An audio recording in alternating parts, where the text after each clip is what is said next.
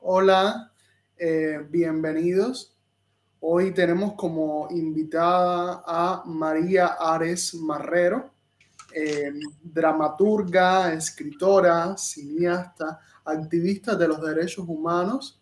Estaremos hablando sobre su vida, su quehacer artístico y su activismo frente al grupo Berlín Opus Cuba. Desde Berlín, María, muchísimas gracias por estar con nosotros. Muchísimas gracias por aceptar la invitación del instituto. Buenas tardes a todos. Muchísimas gracias a ustedes. Es un honor estar colaborando eh, con Instar, que es un grupo que tiene todo mi aprecio, todo mi apoyo. Tuve la oportunidad de conversar con Tania Bruguera varias veces, estando aquí en Alemania.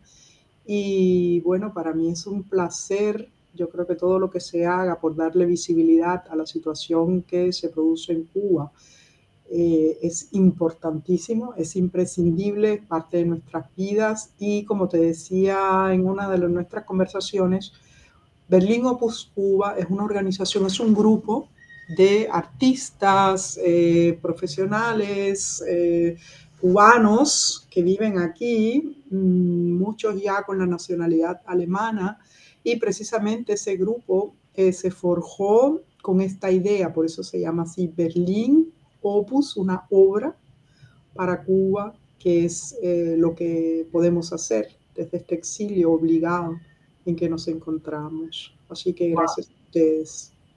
María, este programa eh, que funciona así como una especie de conversatorio, de charla, eh, funciona como, como, eso, como cápsulas de memoria sobre la cultura cubana y el activismo. En este caso, los que yo llevo enfocado más bien en las artes escénicas y en el trabajo en el teatro. Mm. Yo quería hablar eh, desde un inicio, ¿no? Cómo tú llegas a, eh, cuál es tu historia de exilio. Es muy importante contar las, las, historias de persecuciones políticas y que estas historias sean recogidas, eh, porque muchas no se conocen o, o y es necesario no tener la memoria del, dolor para que no se repita. La memoria histórica, sí, es muy importante, coincido con eso. Y es por eso que, he accedido gustosísima a, esta, a este trabajo, a colaborar desde toda la modestia de la que soy capaz. Mm, yo comencé en el teatro muy joven, a los nueve años, en realidad en la infancia, em, porque mi tío era un coach de la ópera de Cuba y entonces comencé, comencé a los nueve años haciendo un rol de niña en una ópera, en la primera ópera polaca que se montaba en Cuba, en el Teatro Nacional de Cuba, o no sé hoy cómo le han puesto, antes de García Loca. Yo llevo 35 años fuera de Cuba, condenada al exilio. De todas maneras, trataré de hacer este, esta historia de mi vida, que ya son 61 años de vida, mm, resumirla cronológicamente. Yo creo que mm, esa vivencia eh, tan joven de ir al teatro, de estar siempre en el teatro, marcó mi vida para siempre. Em, hay un poemario que yo acabo de enviar a un concurso, cuando salga pues saldrá, en este momento todavía no está a la vista. Hay una alusión a otro momento de mi vida que se produce pocos años después, cuando tengo 11 años, y es que me becan en los Camelitos. Ahí conocí a personas tan adorables como Carlos Alberto Cremata, que lo menciono porque en estos días ha hecho algo que, fue una especie de catarsis eh, en un programa que le invitaron a los Estados Unidos, donde habla de su hija, de la muerte esa misteriosa de su hija. Casualmente tuvimos a, Juan Carlos Cremada, pueden consultar el programa, está entre los primeros programas que hicimos de teatro.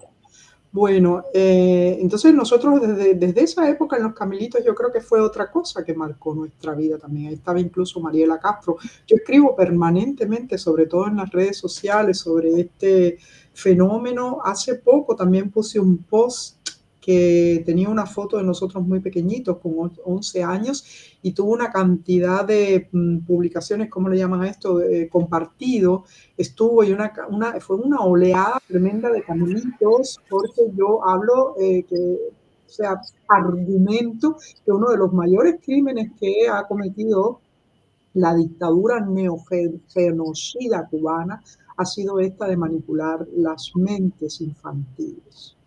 Todos los niños cubanos hemos dicho desde que nos levantábamos por la mañana seremos como el Che cuando íbamos a saludar la bandera por la mañana, luego en este caso los camelitos y otras becas también, porque allí no solamente en ese post se expresaron eh, gente de los camelitos, sino gente de la Lenin, de todas las becas habidas y por haber.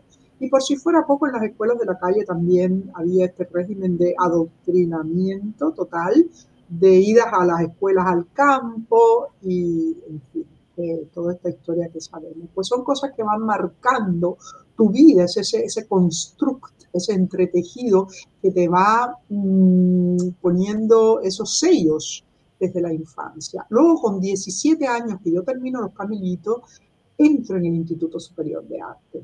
A mí me hizo el examen el gran Rine Leal, eso fue un amor a primera vista, y ese mismo día Rine me dijo, por las claras, estás no sé cómo será hoy en día, yo te estoy hablando del año 1979, Elisa comenzaba, la facultad de dramaturgia estaba por crearse en aquella época gracias a la doctora Raquel Carrió, que tan importante, que consideraba esta materia como algo tan importante y fui de la graduación de 1984 en ese espacio de tiempo.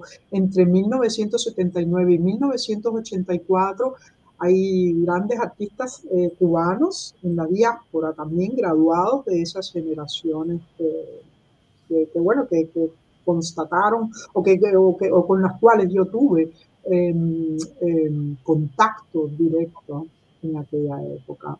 Mm, por ejemplo, Luis Alberto García, que me lo acabo de encontrar hace poco cuando estaba filmando este personaje que acaba de hacer de, de basado en el libro de Mario Vargas Llosa, no, no, sé si será basado en el libro Las fiestas del chivo, pero acaba de interpretar a, Trujillo y yo casualmente lo encontré eh, allí en República Dominicana una, una noche que andaba yo paseando con unos amigos, eh, entró a una piscina de un hotel ah, muy lujoso y tal, a tomar unos tragos, y de repente me encuentro a Alexis Valdés que viene hacia mí y me dice, yo a ti te conozco. Digo, yo a ti también. Alexis yo no lo conocía de Cuba.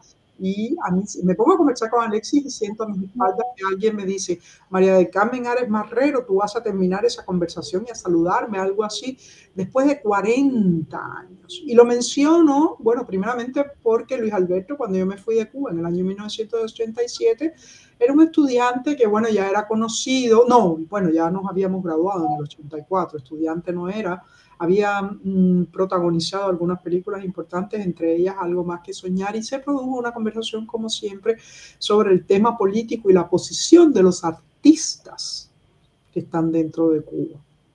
A veces reciben mucha, yo soy muy drástica con eso porque claro, he sufrido mucho y es imposible que alguien exija de mí que sea muy condescendiente, pero uno tiene que de todas maneras apelar a, la mm, reflexión, a ese instinto humano que debemos tener, porque yo recuerdo que en ese momento yo conversando con, con Luis Alberto me dijo, mamá, pero acuérdate que estamos dentro. Y esa es una frase que desde luego que dice mucho. Hay artistas que se arriesgan más que han pagado unos precios muy altos, el de la cárcel, por ejemplo, hay artistas que, bueno, han tenido que marchar al exilio. Y entre los documentos que yo te he enviado ayer está el caso clásico de Hamlet La Bastida que te envié eh, en, en, este dossier donde hablaba del activismo y en estos eh, videos que se tomaron en las manifestaciones, un momento en el que Hamlet llega al grupo se presenta, empieza a hablar, da un discurso y tal, y a los pocos días nos enteramos de que eso fue en la Posa Plaza. Esto no, este no es el video. Este fue ya cuando entonces, después que toman a Hamlet preso, nosotros empezamos a hacer aquí manifestaciones por la liberación de Hamlet. Pero entre los videos de YouTube que están recogidos ahí en el canal de Berlín Opus Cuba, se encuentra un video muy curioso en el que Hamlet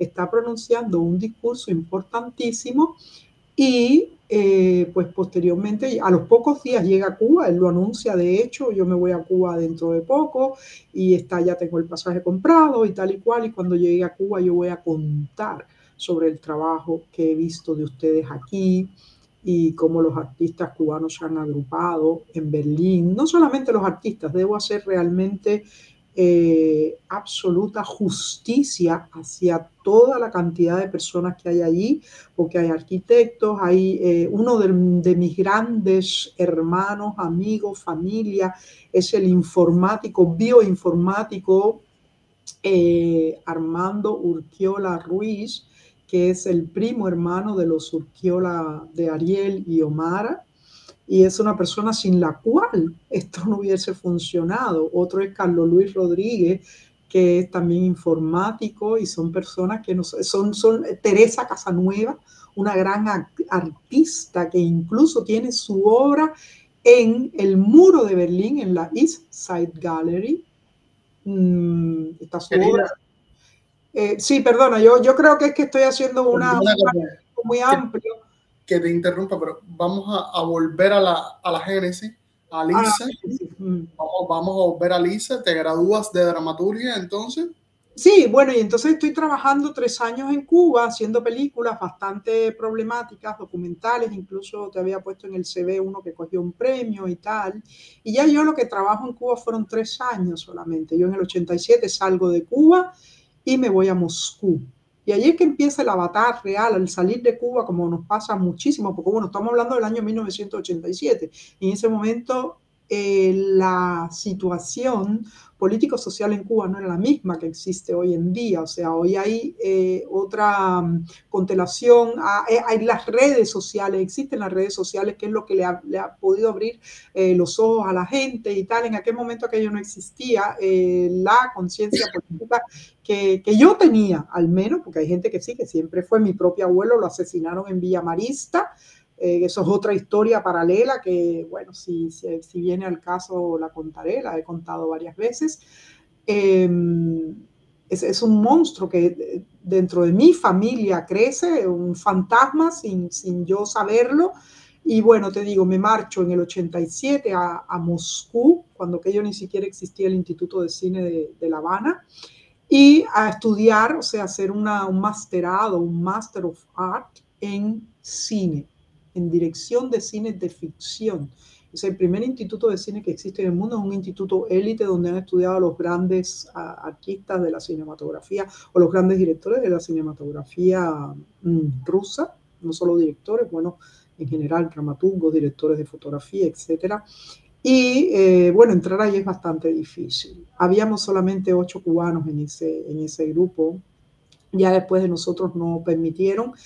Eh, entrar a más cubanos allí porque era el tiempo de la perestroika. En el tiempo de la perestroika eh, se abren al mundo todas las verdades, como es conocido, la glasnost, que quiere decir, eh, sea, transparencia, se abren todas las verdades de lo que había sido el comunismo, pero de un modo diferente, de un modo accesible eh, todo el mundo sabe lo que significa la perestroika. Y eso, por supuesto, nos influyó a nosotros de tal manera y nos dio acceso a mucha literatura, a sucesos, a conocimientos. Insisto en que en aquel momento no existían las redes sociales. Eh, a mí me empiezan a pasar libros de Carlos Alberto Montané, que fue una figura importantísima en mi formación política. Después tuve en el año, recuerdo en qué año después me invitaron a una conferencia internacional sobre la temática en Cuba, estando ya yo aquí en Alemania y tuve el la suerte de conocer a Carlos Alberto Montaner y decírselo. Fue muy gracioso porque me contestó, ah, se lo voy a decir a mi mujer porque él no me cree, ella no me cree que las cosas que yo escribo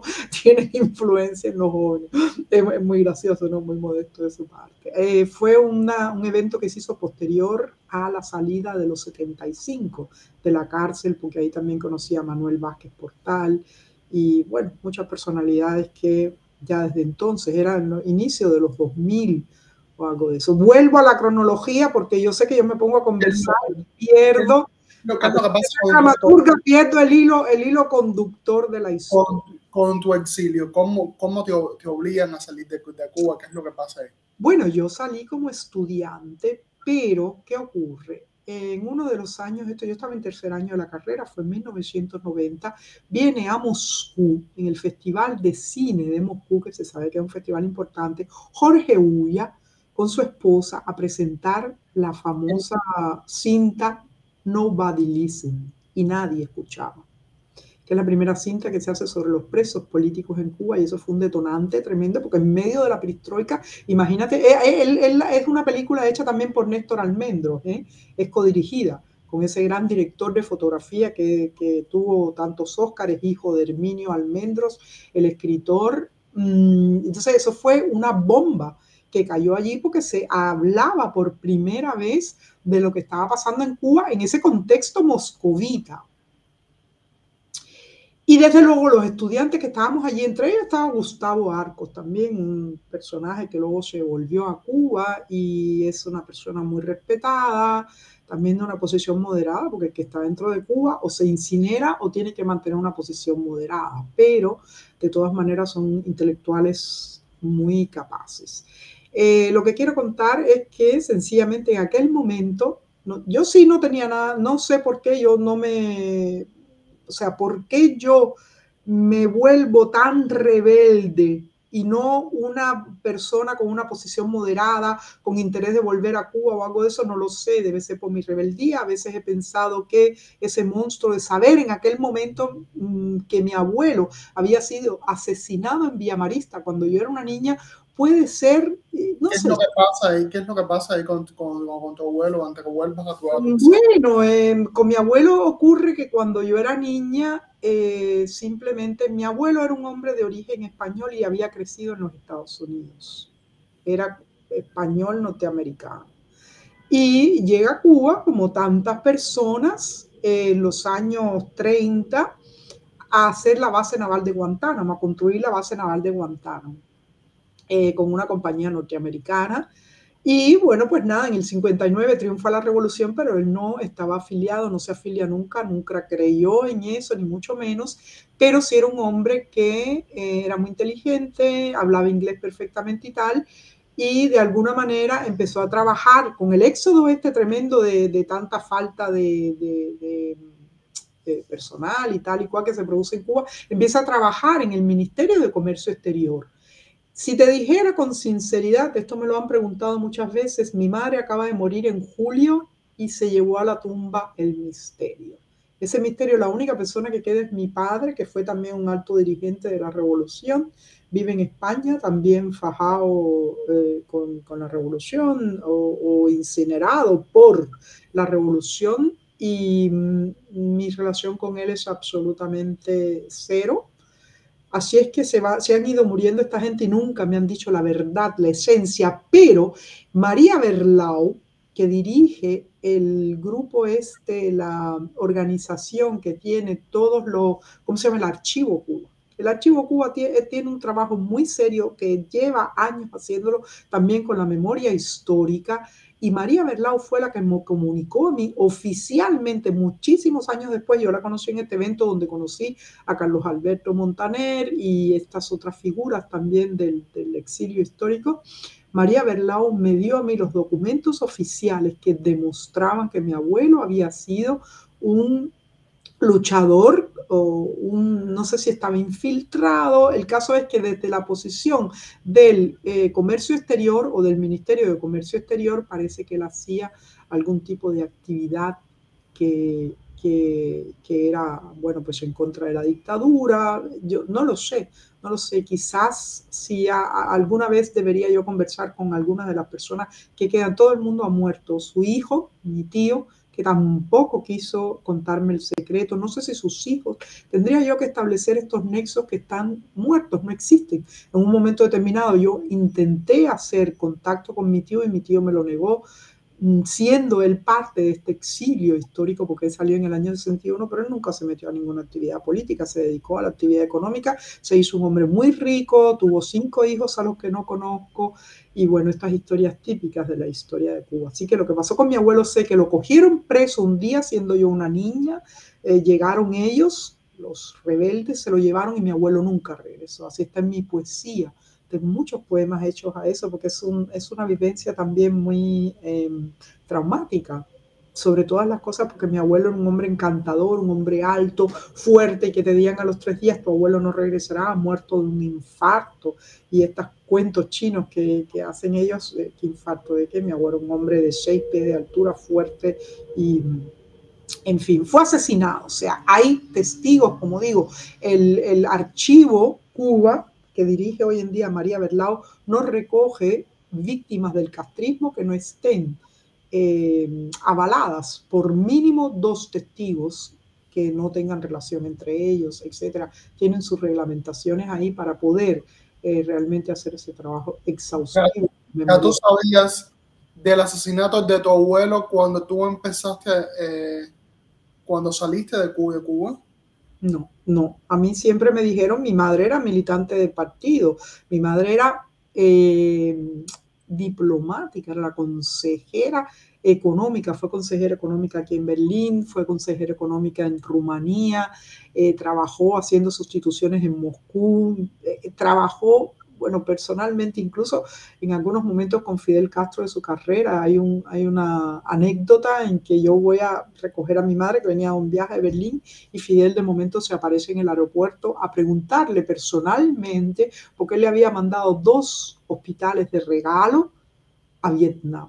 Y mi madre solía decir siempre que en paz descanse, acaba de morir, mi relación con mi madre fue también traumática, después que yo en eh, eh, este, este mm, Se dice en alemán, después de este giro de conciencia política y de rebelión y de, absoluta posiciona, de absoluto posicionamiento en contra de la dictadura genocida de Castro, eh, pues claro que las relaciones con mi madre se afectaron extraordinariamente porque ella decía que yo no veía nada bueno en el socialismo. Y lo digo y lo repito hoy, no hay nada bueno en el socialismo. Lo viví en Moscú, lo viví en Bulgaria, lo viví en todos los países del campo socialista. Vamos, vamos, a, ir, pasando por esa experiencia. Entonces llegas a, Moscú, eh, eres, eres parte de la realización de un documental Hablamos documental, yo, yo, no, no, esto es un documental que hace el director Jorge Ulla, que es un documental muy famoso, los entendidos lo, lo, sabrán, lo conocen, es un documental que ha tenido una trascendencia importante,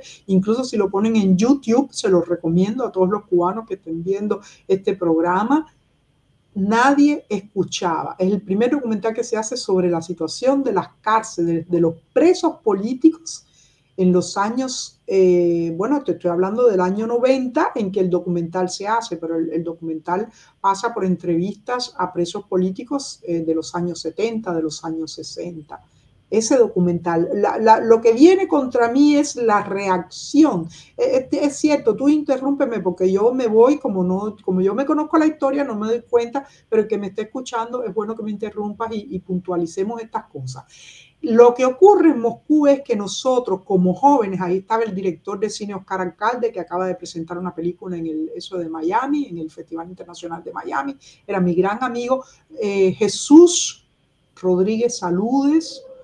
Eh, éramos un grupo de oponentes y de personas que estábamos declarando abiertamente en el contexto moscovita y patentizando que en efecto en Cuba había presidio, político, eh, todas las cosas que pasaban en el comunismo. acabábamos de o, estábamos inmersos en ese proceso en que se comenzaban a hacer películas sobre los muertos, eh, etcétera. Entonces nosotros éramos el, mm, el, fehaciente, el, ¿cómo se dice esto en español? El argumento vivo, la presencia viva de lo que se contaba. Nosotros estábamos diciendo, sí, esto es cierto, esto ha pasado, nos ha pasado a nosotros. Eh, eh, ¿Cómo vivíamos nosotros allí con el pasaporte quitado, con todas las reglas? No se podían tener relaciones con extranjeros, eh, en fin, todas las cosas que sabemos que ocurren en Cuba y nosotros patentizábamos eso abiertamente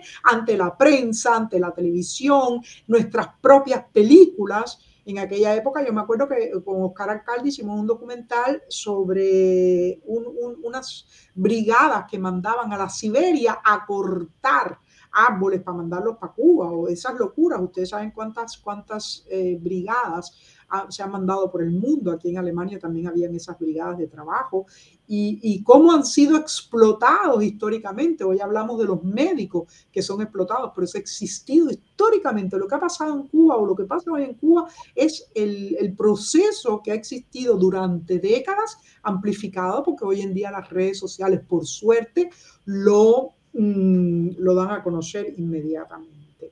Entonces, ese hecho, vuelvo a puntualizar para contestar la pregunta concretamente, ese hecho de manifestar esa rebeldía, de manifestar todos esos argumentos, de convertirnos en una oposición clara y sin cortapisa, sin sesgo, sin, eh, o sea, absolutamente comprometida y dispuesta a asumir los riesgos que aquellos significaran, que no fueron pocos, pues eso es lo que produce ese detonante que en marzo de 1990 llega la gente de la, del Ministerio de Educación Superior, decían ellos, los que nos atendían por el partido o lo que fuera, eh, a expulsarme deshonrosamente de las filas de la Unión de Jóvenes Comunistas. Yo era militante, eso es otro cuento también.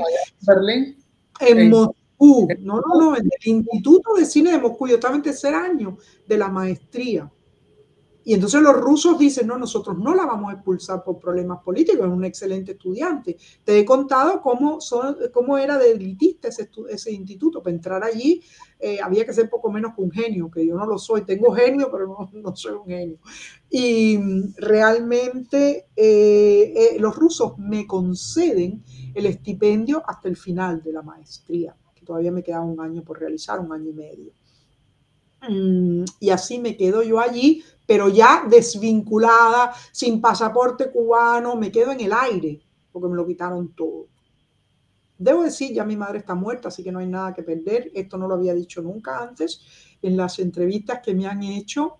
¿Cómo yo pude hacerme de un pasaporte? Esto lo voy a confesar especialmente para instar mi madre, que tenía muchas eh, relaciones en el Ministerio de Relaciones Exteriores, naturalmente era una diplomática, fiel al Partido Comunista y todo eso, pero al fin y al cabo yo era su hija, entra a Cuba en el año 91 de vacaciones, naturalmente, ya estaba fungiendo, como dije ya, de consejera económica en la Embajada de Rumanía, y por sus relaciones logra que me extiendan un pasaporte cubano.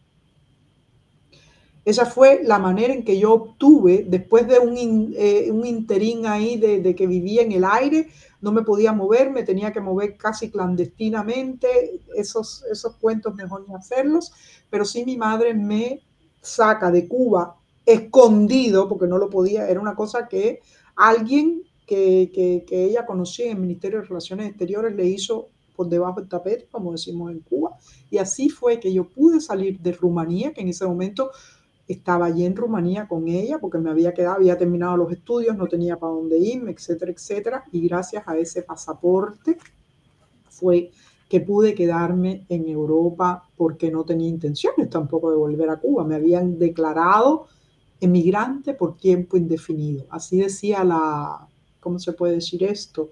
La, la punición que a través del Ministerio de Educación Superior la seguridad del Estado, por supuesto, tiene que haberla eh, eh, pronunciado, ¿no? Porque el Ministerio de Educación Superior en sí no es, un, eh, no es una institución con el poder jurídico para, para este tipo de puniciones, de castigo, de destierro prácticamente. Yo recuerdo que en aquel momento Balaguer era el embajador y yo lo conocía porque sus hijas habían estado conmigo en los Camilitos.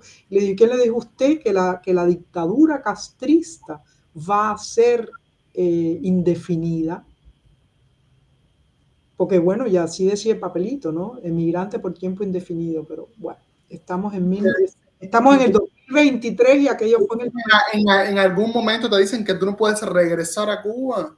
Bueno, no solo me lo dicen, me expulsan deshonrosamente. Al principio me obligaron a volver y yo me negué. Yo dije que no, porque yo sabía que yo miraba para Cuba y podía ir como mínimo para una cárcel. Y ya después a mi negativa, yo, yo, además yo estaba estudiando porque tenía que volver a Cuba, yo no había hecho nada. Eh, bueno, no había hecho nada para mí, para ellos por supuesto era, eh, y entonces ellos escriben definitivamente, expiden, expiden un documento oficial que decía emigrante por tiempo indefinido y me, expulsan, me, incluso los rusos tienen que intervenir porque ellos ponen a los rusos entre la espada y la pared al, decanato para extranjeros del FGIC, el Ciesayusny Institute de Cinematografía. Em, eh, estoy diciendo, estoy mezclando el alemán con el ruso, no importa, el Instituto de Cinematografía de Moscú y la, la decana y mi máster, el gran Saba Kulish y Albert Filosof, eran mis dos máster, dos grandes cineastas rusos son los que dicen, no, ella se queda, ella se queda bajo nuestra jurisdicción hasta el final de la... También, María, era una, era una época de, de cambio, el país estaba cambiando, ellos sabían que había una transición eh, hacia la democracia inminente en, en Rusia también y, y hacer. De hecho, en Rusia, los intelectuales, los intelectuales, esto es importante que se sepa. Hay, yo siempre a mis amigos, el otro día estaba hablando con Miguel, Miguel Coyula, con Lynn Cruz, que trajeron esa maravillosa, el otro día, no hace unos meses ya, pero uno dice el otro día, en realidad fue el verano pasado. Mm, lo que pasa es que nos hemos mantenido en contacto. Es importante que se sepa la producción cinematográfica de ese momento en películas como Pacayane, eh, quiere decir arrepentimiento. Esa es una película que todo cubano debería ver.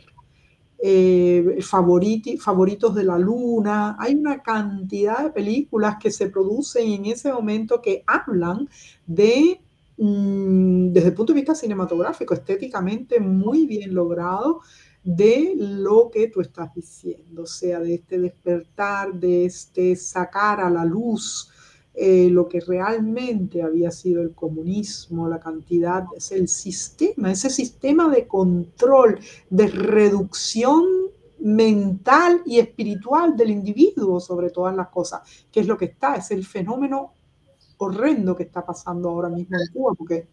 Aunque se dice que parte de los, de los, de los intelectuales y de los artistas a través de la del proceso de la Unión Soviética, muchos como, como que nunca en, eh, eh, realmente fueron comunistas ni pertenecieron al... siempre se mantuvieron aislados de, de ese proceso y por lo tanto fueron vigilados. el caso típico de Andrei Tarkovsky en el cine, por ejemplo, es el, es el non plus ultra de la creación cinematográfica, no solamente para Rusia, sino para todo el mundo la importancia de Tarkovsky es grande en el cine, eso lo sabemos, pero es un intelectual que estuvo muy perseguido y de hecho tuvo que salir de Rusia, murió fuera de Rusia con un dolor impresionante. Hay otros, Solzhenitsyn, Pasternak, hay muchos autores naturalmente que, fueron perseguidos. Eh, las Vietaeva también es una poetisa que, tuvo muchas contradicciones con el, con el régimen stalinista mm, o, leninista o marxista-leninista, como le quieran llamar. Y bueno. terminas, eh, terminas la escuela y ¿qué es de ti? ¿Qué es de ti en ese destierro forzado en un país que estaba en una transición cómo, fue tu, tu, tu, recorrido por, por, por Europa. Es, es, muy importante porque no todo el tiempo alguien, eh, tenemos la, la oportunidad de, de, escuchar una experiencia de alguien que vio, que vivió en carne propia la eh, caída del bloque socialista. tuviste caer el muro de Berlín también. De, eso, es, eso es importante. Menciona fechas, recuérdate, recuérdate que, que, a veces esto funciona como una especie de clase porque hay, hay personas que no conocen la fecha. Sí, es verdad, hay toda una generación, es como una clase de historia, muy bien, muy bien observado, muy bien formulado. Eh, hay toda una generación que de verdad no, no, no tuvo estas vivencias. A ver, eh, bueno, en el año 90, perdona. Yo nací en el 93, como para ponerte. Como mi hijo menor, ahí, ahí viene la cosa.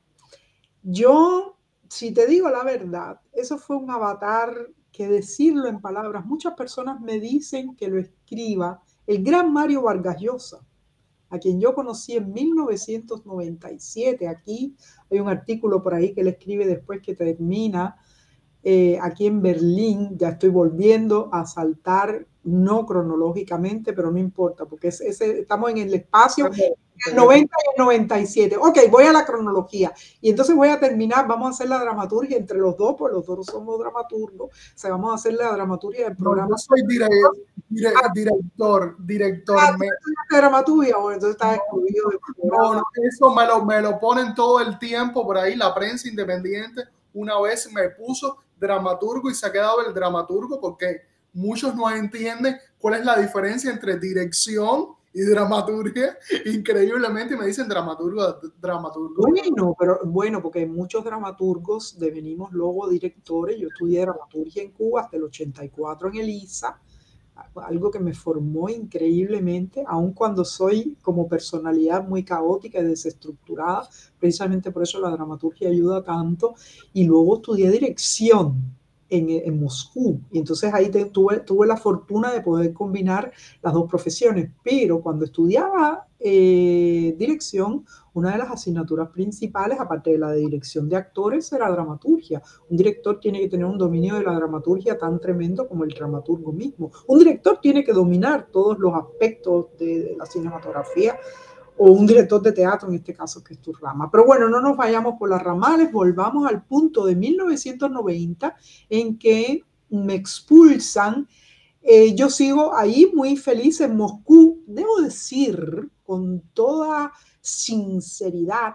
El día que me expulsaron, mis compañeros de grupo me apoyaron completamente. Ese grupo de cine de Moscú era increíble, incluso no voy a mencionar los que volvieron para Cuba, pero eran gente realmente con esa, no es que sea la doble moral, es que te obligan en Cuba eh, a, callar, a mentir, a lo que sea. Eh, me expulsan y yo me quedo los dos años siguientes en Moscú terminando la maestría pero en el 92 salgo embarazada de mi primer hijo. Y ya la vida ahí pues eh, te hace responsable no solamente de ti mismo, sino de otro ser que tú traes al mundo. Eh, de todas maneras, yo era una madre joven, tenía en aquel momento apenas 30 años y eh, Tenía mi madre también aquí en Europa que me apoyó a pesar de que ella fuese comunista y yo no, pues hay, hay, una, hay un nivel ahí de la relación en que en aquel momento todavía se mantenía el amor filial por encima de las cuestiones políticas y era una, una, situación muy tensa y muy difícil porque yo voy a carenar, por decirlo de alguna manera, a eh, Bucarest. Yo no me quería quedar en Rusia. Eh, Rusia, yo, no quería quedarme en los países socialistas. Para mí me quedaba claro que el sistema socialista era algo que me eh, era execrable, yo lo rechazaba y las secuelas que dejaba el sistema socialista. Pues yo no viví el Moscú que, que sobrevino después de los grandes rascacielos y de todos los millonarios estos rusos, que ese, cambio yo no lo he visto. Hasta ahora ni siquiera he vuelto a Moscú. Creo que hay, eh, o sea, ah, para mí han habido muchos otros lugares importantes que visitar y creo que a lo mejor me lo debo todavía, ¿no? Puede que vuelva alguna vez pero yo recorrí Bulgaria, estuve en Turquía, en Grecia en algún momento, pero, o sea, podía comparar la diferencia de las secuelas, estuve en Rumanía, en Checoslovaquia, en Budapest. Eh, hay algunas ciudades, claro, como Budapest, que eran más atractivas que otras, o la misma eh, Praga, pero de todas maneras había algo, había estado en Berlín democrático también muchísimas veces siendo estudiante. Luego debería yo introducir ahí el, paréntesis del, del, muro de Berlín, porque el muro de Berlín cae en el 89. Y entonces yo me encontraba aquí visitando, o sea, la locura del muro de Berlín hace que todos los estudiantes que estábamos en Moscú quisiéramos ver el muro de Berlín. ¿Qué hago yo? Vengo a la República Democrática Alemana con aquel pasaporte oficial que sí nos permitía viajar a los países socialistas y mm, cuando voy a entrar haciéndome la boba por el checkpoint, o sea, el punto de control, me paran porque a los cubanos y a los vietnamitas no los dejaban pasar porque nuestro pasaporte no estaba habilitado. Entonces voy a la embajada con un amigo para que me lo habilitara, no me lo quiso habilitar, qué sé yo, a mi madre por supuesto no le podía contar estas cosas. Y sencillamente bueno, me quedo súper deprimida de que no puedo pasar al Berlín Occidental queriendo ver por primera vez un país capitalista que no había vivido hasta entonces. ¿Y quién te dice a ti que, bueno, al segundo día me hablan de un hueco que había, que se escapaba uno por ahí, se introducía por un, una, qué sé yo, cosa de cubanos, ¿no? Un hueco que había abierto. Estamos hablando de mil, del año 1990 la primavera del 90, hacía apenas unos meses que se había caído el muro de Berlín y todavía existía el control en los puntos de control, como te dice Checkpoint Charlie, eh, otro punto que había, bueno, en distintos lugares, ahora el nombre no, no, interesa, el más importante era el Checkpoint Charlie porque es el punto histórico este que se conoce, tienes que venir a Berlín para hacerte yo un, recorrido de esto para que lo puedas ver en la vida real.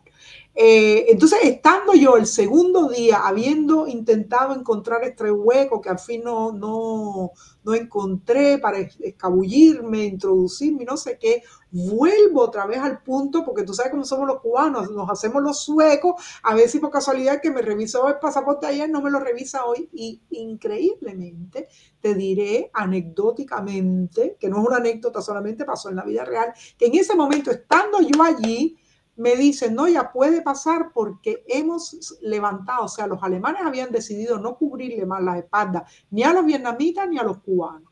Así que los países esos tenían que arreglárselas como pudieran para controlar a su ganado, porque ya los alemanes no estaban más en disposición de controlar en la frontera habían levantado los controles, los puntos fronterizos, eso cuesta, eso cuesta personal, gente allí vigilando, no sé qué. Ahí en ese momento se acabó toda la vigilancia estando yo allí y pude entrar por primera vez eh, en Berlín Occidental, lo que se llamaba Berlín Occidental, antes eh, que era una, una isla dentro del propio Berlín llena de mitos, como se conocen, fue un, territorio aislado, ocupado por cuatro potencias, como es sabido, una parte rusa, había una parte francesa, una parte inglesa y una parte norteamericana. O sea, todas esas vivencias, pero en aquel momento había que vivirlo. A veces yo veo las películas y los documentales de aquella época y me veo allí, porque, porque eh, no sé, era distinto, las calles, el, tráfico, la gente, eh, estaban pasando cosas en ese momento que, bueno, pues quedaron impresas en la historia como, como eso que acabaste de mencionar ahora, la, caída del bloque del este. Y se abría Berlín al mundo, porque Berlín también era un, centro de espionaje. Eh, en fin, eh, hay que ver la historia de Berlín, ¿no? Hay unos documentales por ahí muy interesantes. Mm, pues sí, ahí comienza mi avatar y es ahí donde yo decido, dicho sea de paso, quedarme en Berlín.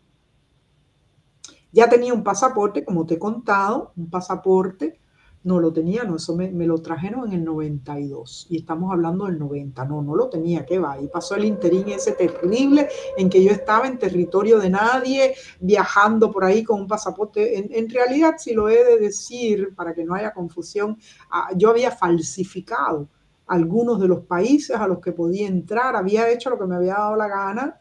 Eh, como tenía acceso a la embajada y a ciertos, eh, documentos, eh, ciertos cuños y cosas de esas, pues claro, me aproveché de eso, tenía que sobrevivir, no es nada que me guste contar extraordinariamente, porque bueno, de alguna manera... Pero bueno, ya de todas maneras mi madre no está en este mundo. Es la historia normal de los cubanos, ese régimen ha, ¿cómo se llama? ha obligado a generaciones y generaciones a vivir eh, a través de la ilegalidad, porque ellos han hecho eh, los procesos legales imposibles. Entonces, uno no le queda más remedio que, que por otras vías. Lo que sí es importantísimo, Adonis, es que en ningún momento, primero ni me he arrepentido jamás, ni sentí en aquel momento absolutamente ningún sentimiento de culpabilidad, de creer que estoy haciendo algo mal, de nada, me sentí realmente libre. Y yo no sé, es una, es una cuestión más emocional que política, si te dijera la verdad. Soy muy sincera en ese sentido Mm, es una cuestión humana, el individuo, y, hay personas que no resisten para nada las correas, que no resisten las ataduras para nada, y yo pertenezco realmente a ese grupo de personas. No me gusta, o sea, soy, soy, mi madre solía decir que era una rebelde sin causa, yo creo que eso no existe, ese es el título de una película de James Dean, y por eso me lo decía, pero Realmente yo jamás sentí que estaba faltando a nada ni a nadie.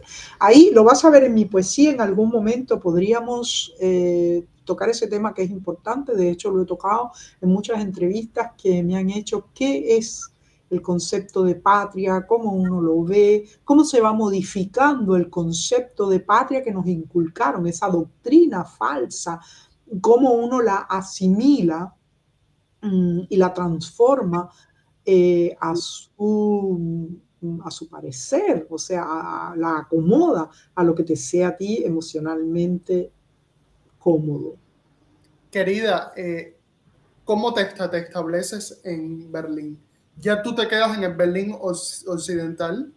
en el 92. No, no, yo vuelvo a Moscú. Después de este cuento del muro, que por fin pasé, conocí el muro, me compré los pedacitos de piedra, o no sé si me los llevé, no, no recuerdo si en aquel momento se compraban o uno mismo se los cortaba de los pedazos, de ese detalle no recuerdo, la verdad. Mi compañero de esa aventura fue eh, Rodríguez Saludes, mi gran amigo, entrañable amigo. Jesús Rodríguez Saludes, también se quedó, él se quedó, se quedó en aquella época casado, casi todos nos quedamos. Oscar Alcalde, como todos saben, también se fue a los Estados Unidos, hizo aquella gran película que fue El encanto del regreso, pero eso es de por sí una historia que deberían ustedes en la parte de, cinematografía que, que Alcalde cuente esa historia de y cómo nos robamos aquella película del encanto del regreso, porque Fidel la prohibió a pesar de haber cogido el Caracol, el, premio Caracol del año 92. Estamos todavía en el 90, en que a mí me expulsan, yo vengo a Berlín, veo el muro, veo Berlín Occidental y tal, me vuelvo a Moscú, pues tenía que terminar. Yo terminé los estudios en el 92 y, entonces, cuando me examina el jurado, aquel, yo tenía ya la panza casi a, punto de parir a mi hijo que vino al mundo, yo hice los exámenes en julio y mi hijo vino al mundo el 27 de julio. Una anécdota muy graciosa es que yo no, yo estaba lista para parir el 26, pero yo aguanté el parto hasta la una de la madrugada porque yo no quería que mi hijo naciera el 26 de julio. Fíjate el grado de locura que a uno lo llevan eh, y, de, no querer jamás en la vida, bueno, 27 de julio, pero que, es el día de la Santa Ana, el 26, pero yo no quería por nada el mundo que mi hijo naciera. ¿Cómo tú viviste, cómo tú viviste ese proceso tanto en Moscú como en Berlín de la caída del bloque socialista? ¿Qué decía la gente? ¿Cómo, cómo, cómo, cómo fue el estallido? Eh, Había una diferencia muy grande. El, el, muro, porque cuando, cuando, uno, cuando uno tiene las, las imágenes, ¿no? Como uno ha visto en películas y documentales, uno lo que ve es como, como un cuando, una explosión, una explosión. Te lo dije ahorita, es difícil a veces ponerlo en palabras, ¿no? Como, como bien dice el dicho, las imágenes eh, hablan a veces más que las palabras, pero es algo que te digo, o sea, que uno sentía eh, la temperatura de las calles, en el rodar los carros. Hay una diferencia muy grande, Adonis, debe decirse, y, la gente lo puede bien suponer, entre Moscú de aquel, entre el Moscú de aquel momento lleno de heladas, que era algo que me indignaba a mí, que me molestaba, que me mortificaba. las secuelas en Rusia fueron muy distintas al proceso que se vivió en Berlín o en Alemania. La reunificación alemana y, la, y, lo, y, lo, que se vivió en Rusia, al punto que históricamente estamos viendo que ahora mismo con el putinismo y con el Putin, mira lo que está pasando.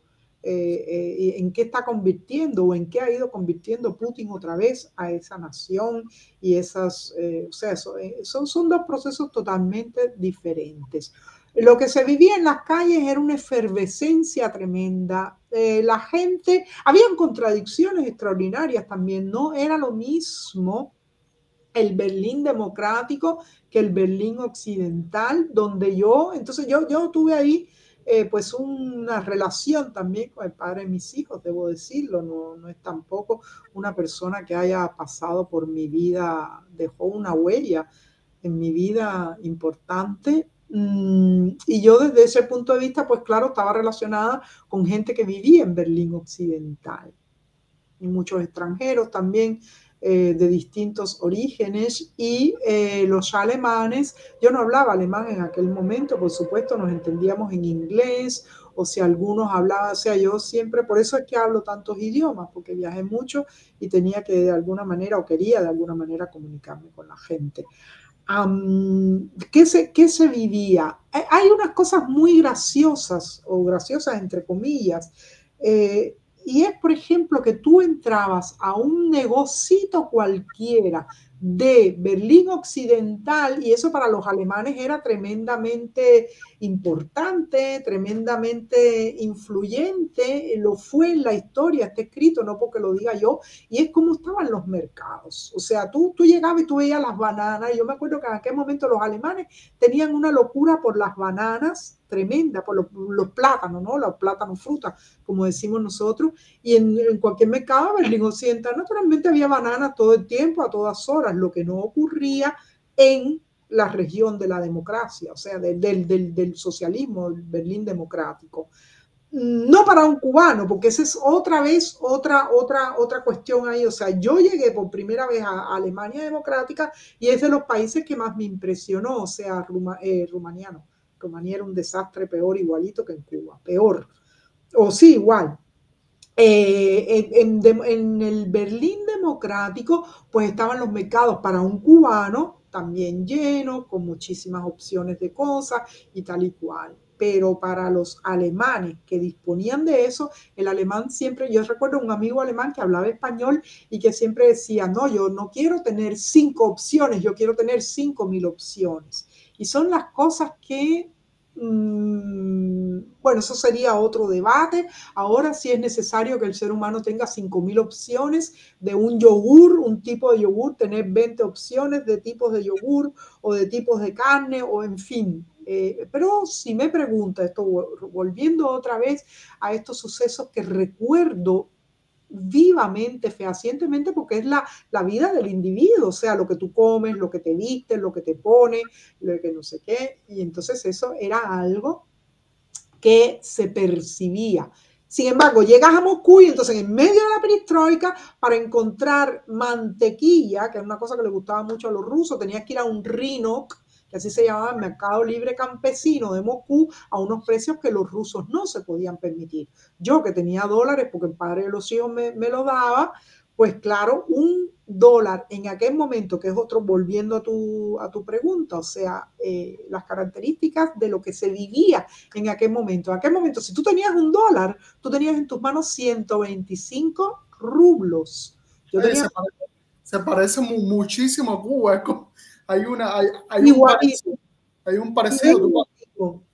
Por eso yo cuando oigo a los jóvenes hoy, naturalmente callo. Yo estoy muy en contacto con estas grandes jóvenes como Carolina Barrero, he estado con Ana Meli, incluso compartiendo personas brillantes. Eh, la misma Tania, pero bueno, Tania es, ya más de mi generación. Entre Tania y yo no hay tanta diferencia de edad. Pero estos jóvenes brillantes, eh, que, es una lista extensa, ¿no? La misma Danielita Rojo que estuvo aquí, es jovencita, Daniela tiene menos edad que tú, incluso personas realmente interesantes, brillantes. los que tienen en sus manos realmente el futuro del país o, el segmento próximo eh, tendrán que asumirlo ellos, de hecho lo están asumiendo, pues claro, cuando yo los escucho me da esa misma sensación. Yo a veces si tengo que decir algo que sea muy relevante e importante, lo digo, pero estoy viviendo por segunda vez lo que ya viví eh, repetidamente, en repetidas ocasiones en, en, todos los países estos socialistas. Hay unos debates tremendos entre las... Eh, Em, eh, ¿cómo se dice esto? Las líneas de la oposición, hay algunos que se llaman de izquierda, otros que están en pos del socialismo, y qué sé yo, yo en esos debates no me meto.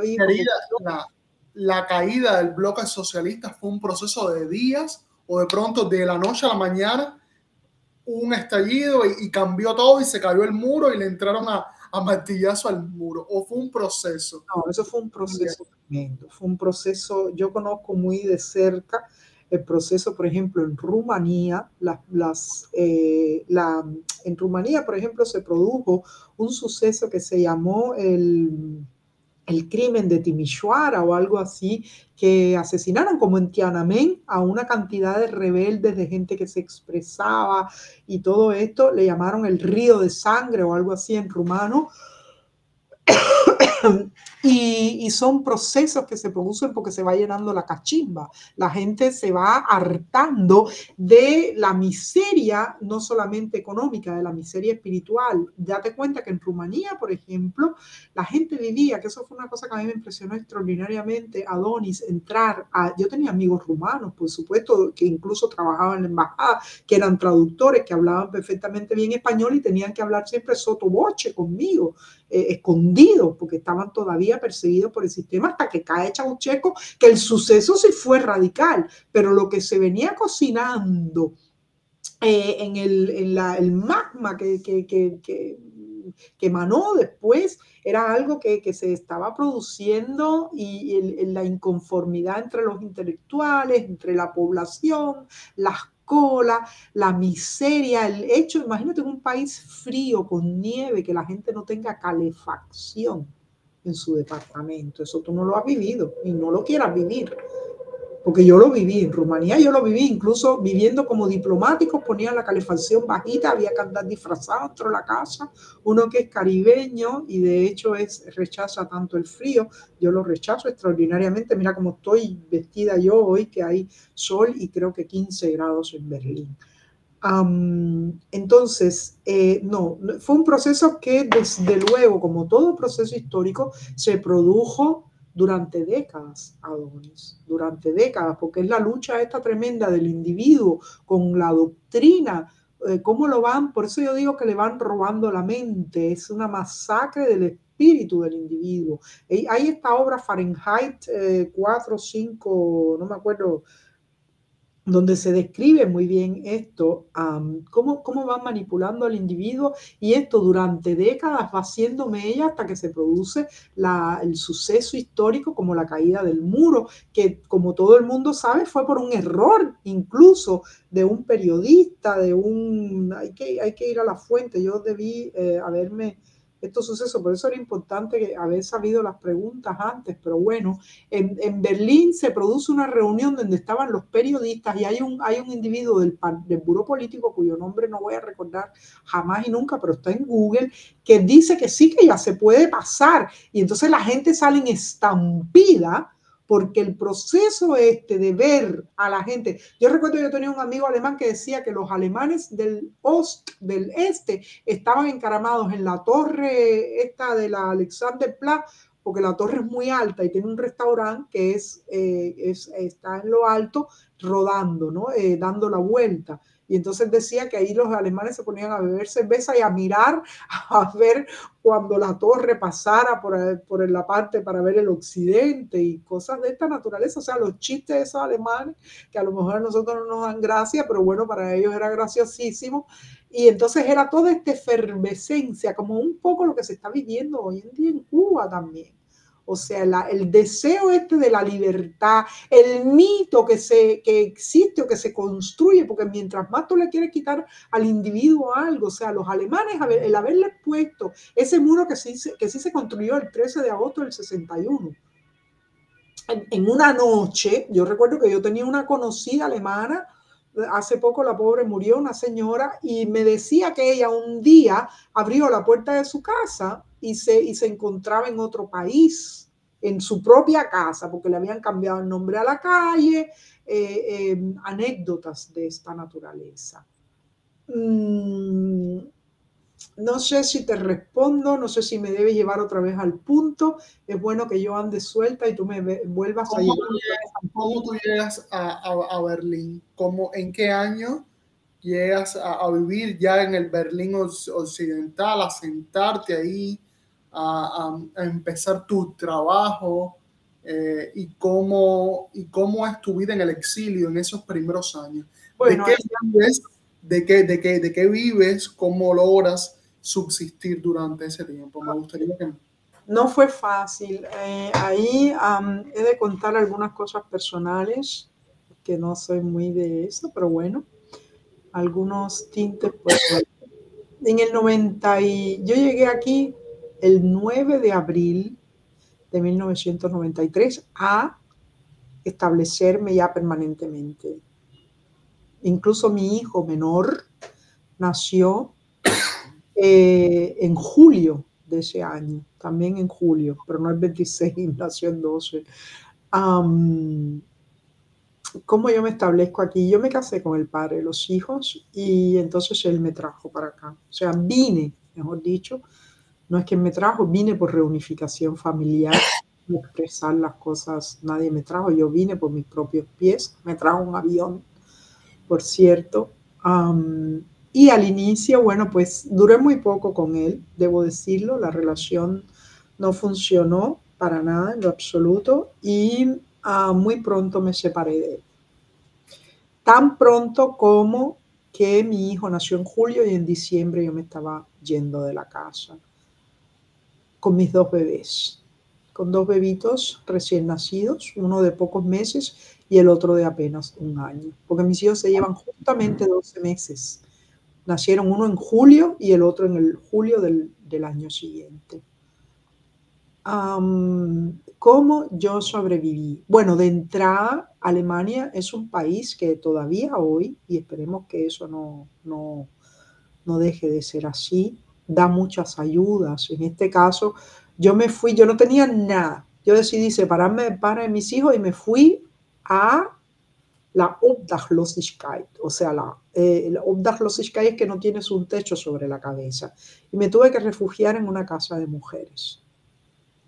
En una cosa que se llama casa de mujeres. Esto tampoco lo he contado nunca en ninguna anécdota, en ninguna entrevista que me, que me hubieran hecho.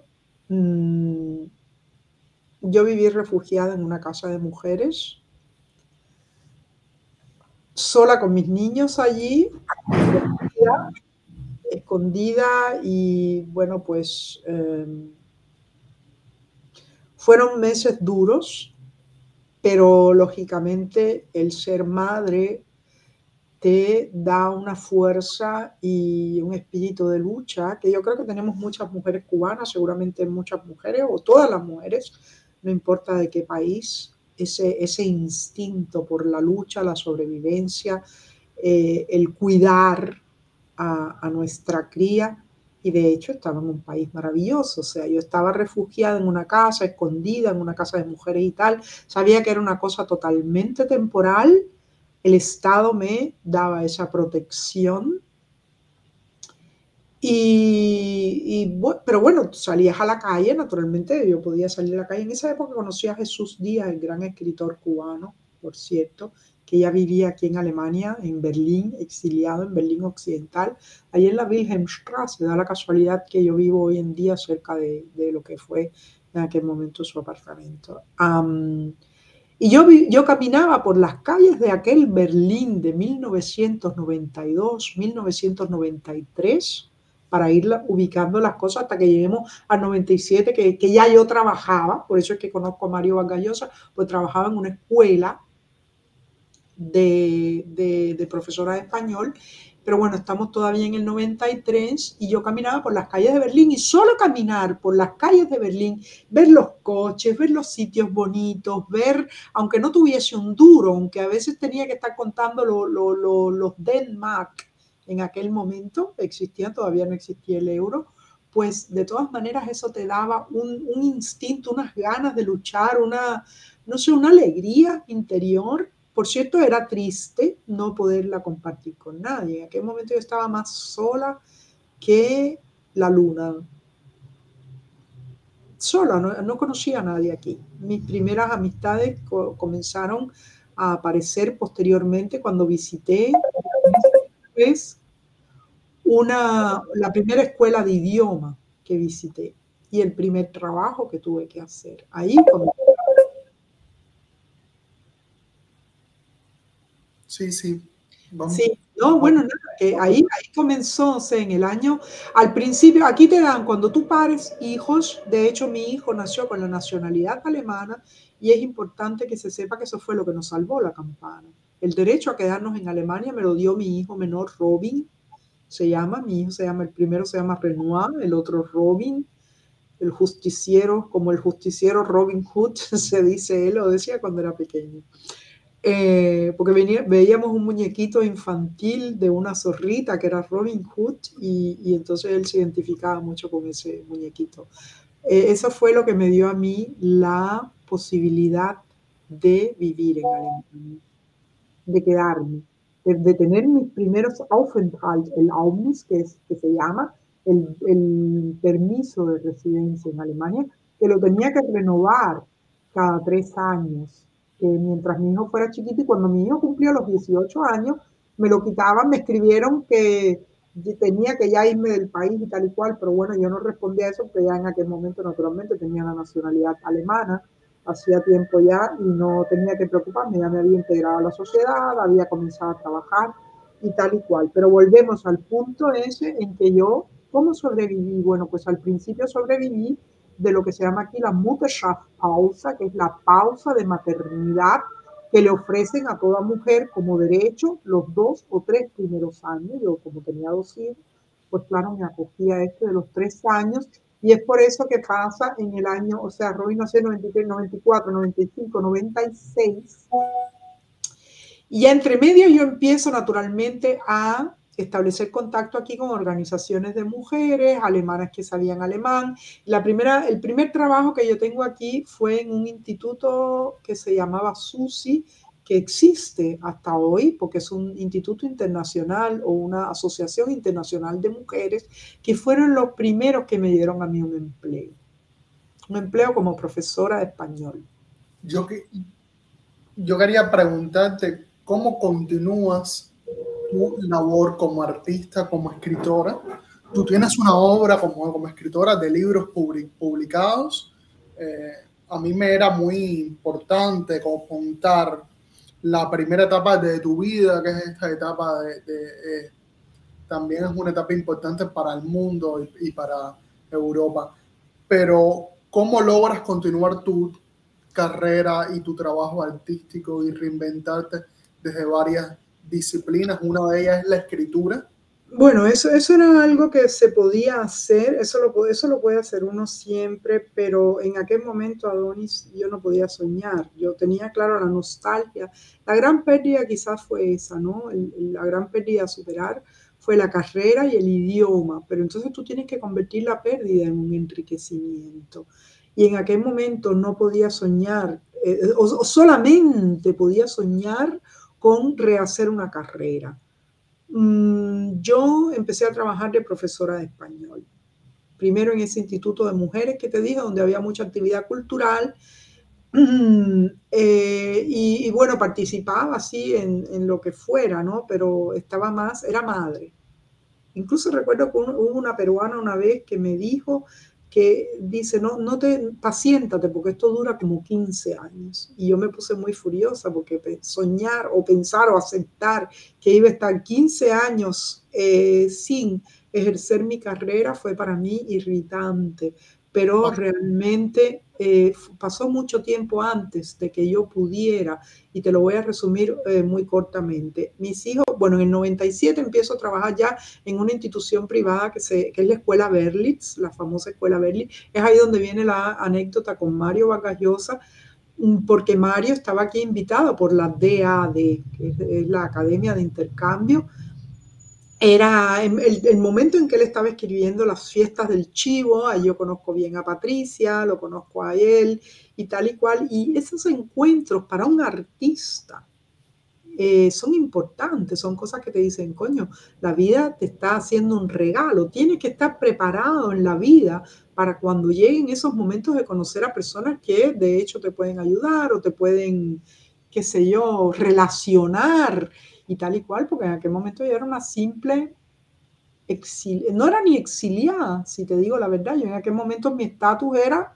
eh, qué sé yo, una persona, una cubana con un pasaporte cubano y un permiso de residencia en Alemania por tener un hijo alemán, nada más.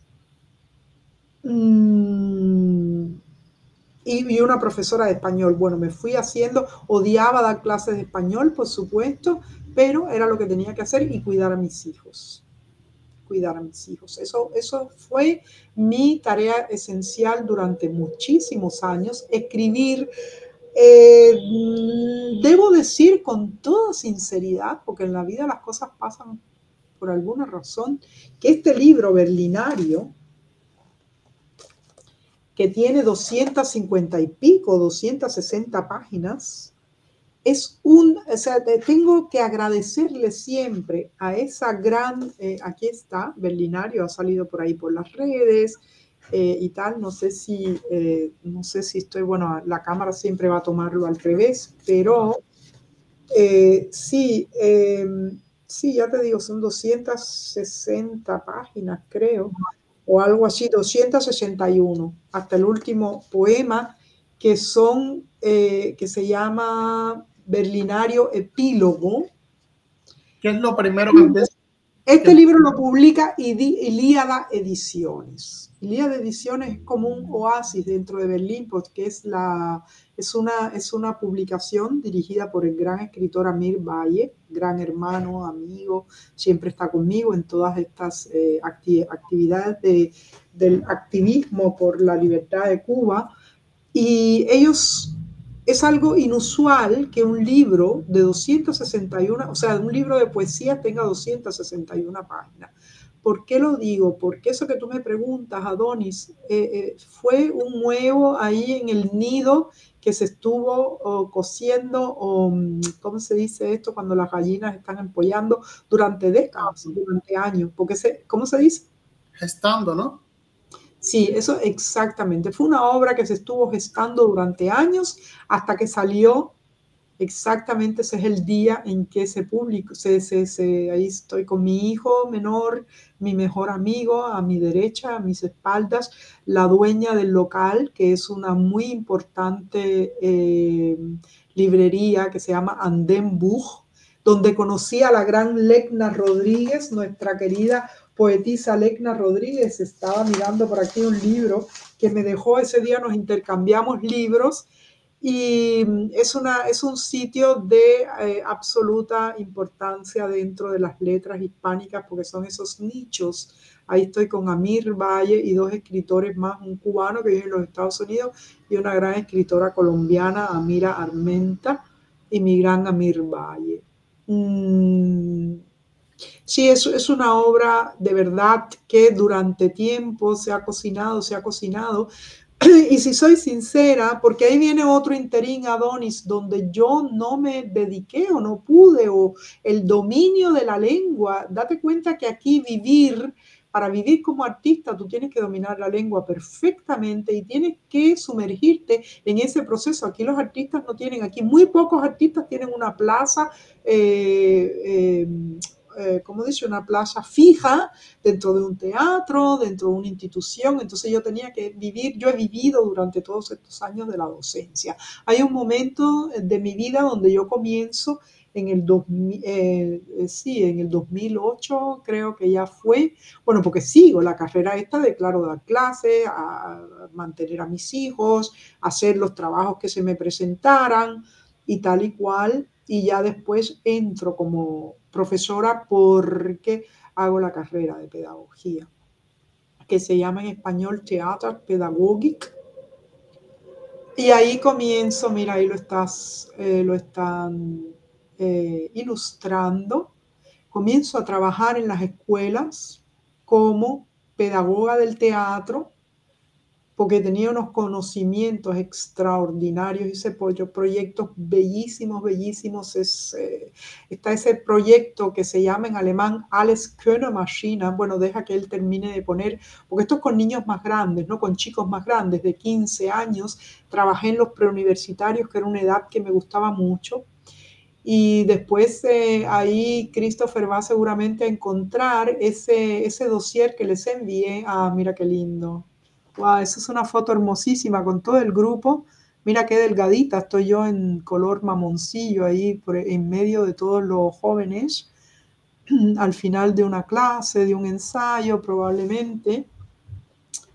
Sí, y entonces hay una, hay una, ya mi entrada en el teatro comienza a producirse a través de la Goldoni Theaterschule, donde yo escribo mi primera obra en alemán para niños y jóvenes, que se llama Die Alles Könner Maschine. Es una palabra que tú sabes que en alemán podemos convertir. No, mira que se llama la máquina que todo lo puede. Déjame decirte que yo con la docencia lo confieso, parece que yo no sé por qué este, tú me has inspirado a decir muchas verdades que nunca he contado a nadie. Eso fue una preciosa puesta en escena en un teatro ya van a ver después flores, aquí que te regalen flores es algo de verdad que dice muchísimo porque los alemanes son muy comedidos en cuanto a expresar emociones. La máquina todo lo puede. Eh, comenzó a partir de mi trabajo con este grupo, porque los niños siempre quieren cosas increíbles, ¿no? Ahí está la profesora, la maestra. Eh, la historia cuenta, sí soy yo, la historia cuenta Mm, una maestra que se retrasa un día a las clases y los niños crean la máquina que todo lo puede, que es esa, esa foto anterior y tal que pusieron. después la maestra mala llega y todo esto, y los niños entonces la, la paralizan, ¿no? Con la máquina que todo lo puede, pero mientras tanto, eh, la obra va sucediendo, ellos van dando vueltas y paseos, y entonces hay un conflicto entre el niño que la, entre la niña que la pinta y la diseña, la artista de la máquina, y el niño que la, que la convierte en un, no sé, el técnico, ¿no? Este es ya el final cuando nos dan la directora de la escuela, una gran eh, colega, eh, que me abrió muchas puertas también realmente, porque no crean ustedes, yo era la única extranjera y todos eran alemanes, señores. Eso hay que decirlo, aquí hay que pulirla muchísimo con el idioma.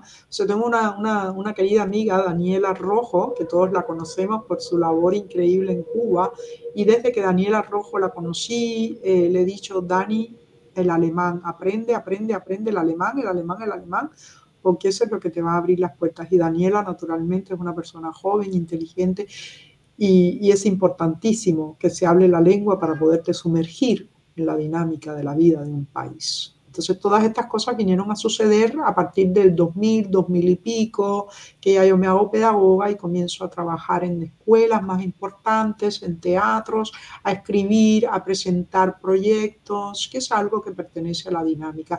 Todavía está por decidirse el hecho de que yo ponga, eso probablemente va a suceder a finales de este año, si Dios quiere, como dicen los viejos, yo no soy creyente, yo creo en mi, en mi esfuerzo eh, sí, eh, otra obra que se llama Vulnerable, que sí ya es tremenda, o sea, para, para, para, adultos y tal, y es una mujer que vive encerrada en su apartamento, muy buena. Eh, la recomendación viene de cerca.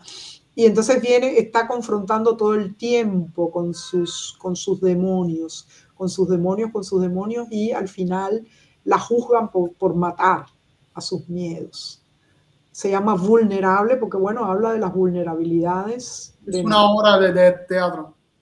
Es una obra de teatro. Volví al teatro, Adonis. Volví al teatro, a mi profesión inicial, porque sí, yo estudié dramaturgia, estoy muy, muy colegada a la dramaturgia, a la escritura, y al final Adonis, después de haber hecho también todo este periplo por la actividad, el activismo Eso es un capítulo que todavía no lo pongan, tenemos que llegar ahí cronológicamente. Has incluso actuado también.